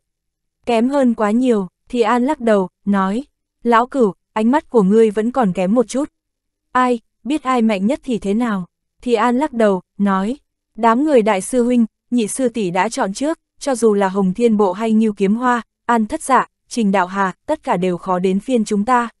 Hắc hắc, những người này thật ngốc, cho rằng sẽ có đại tạo hóa chờ bọn họ. Ôn Phi Văn cười nhạo, được rồi, có thể trổ hết tài năng trong nhiều thiên tài như thế, có người nào không phải thiên tài trong thiên tài. Hậu Vĩnh chính lắc đầu, hắn mất hết cả hứng, bọn họ đứng bài vị cuối trong thập nhị tinh sứ, cho nên chỉ có thể lấy hàng thừa. Ha ha, đáng tiếc 10 năm sau bọn chúng mới biết được chân tướng, nghĩ lại thật chờ mong, ta rất muốn xem vẻ mặt của bọn họ khi đó. Thì An cười cợt, trong bí cảnh, Lăng Hàn tiêu hóa ba đạo thần mang, hắn lại nắm giữ ba trận văn, hắn lặng lẽ quay trở về, hắn nhìn thấy mười mấy người nằm dưới gốc tiên thụ kia, máu tươi nhuộm đỏ mặt đất. Cạnh tranh thật kịch liệt, nếu như trong tình huống bình thường, những thiên tài ở đây sẽ vì một bảo vật gia tăng một tính tạm thời mà liều mạng với nhau hay không? Hiển nhiên là không thể nào. Kim Nguyên Thánh Địa đang nuôi sâu độc, dùng giết chóc tàn khốc chọn ra người chiến thắng, về phần tổn thất to lớn cỡ nào, bọn họ không đặt trong lòng. Đám người lăng hàn chờ đợi trái cây mới rơi xuống, hắn liền giết ra ngoài, cướp đoạt thần mang. Thời gian dần qua, trái cây trên cây càng lúc càng ít, người dưới gốc cây kẻ đến sau bổ sung kẻ ngã xuống, kỳ thật số lượng không giảm bớt chút nào. Dưới tình huống như vậy, cường giả sẽ xuất hiện, Lăng Hàn, Hồng Thiên Bộ, An Thất Dạ, Trình Đạo Hà, những cường giả đó không chỉ còn tồn tại, hơn nữa cũng có thu hoạch riêng, nhưng những người này công lại còn không bằng một mình Lăng Hàn. Bảy ngày sau, trái cây trên cây đã rơi sạch, quả không có, vậy thì tiếp tục tiến lên, đột nhiên có người phát hiện phía trước không còn đường. Vùng bình nguyên này chính là điểm cuối của bí cảnh, cũng không có đường ra. Trở về như thế nào? Lại qua nửa ngày sau, đột nhiên dưới tiên thụ xuất hiện biến hóa, một đạo quang trụ phóng thẳng lên trời. Xảy ra chuyện gì? Mọi người vây quanh, nhìn thấy dưới tiên thụ xuất hiện trận pháp phức tạp. Đây là truyền tống trận, có người nói, đường đi ra ngoài, không ít người vui mừng, tốc độ của bọn họ không nhanh, vốn cho rằng không có hy vọng xông vào top 12, nhưng không ngờ trận pháp rời đi mở ra muộn như thế.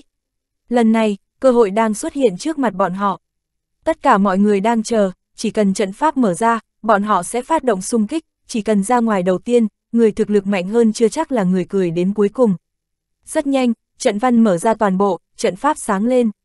Có thể rời đi, lúc này, mọi người xông lên phía trước, hiện tại không cần đánh thắng người khác, nhanh hơn kẻ sau là đủ. Một đám cặn bã, nghĩ không làm mà hưởng, An Cửu Nguyệt cười lạnh, hai tay chấn động, năng lượng cuồn cuộn hóa thành công kích khác biệt.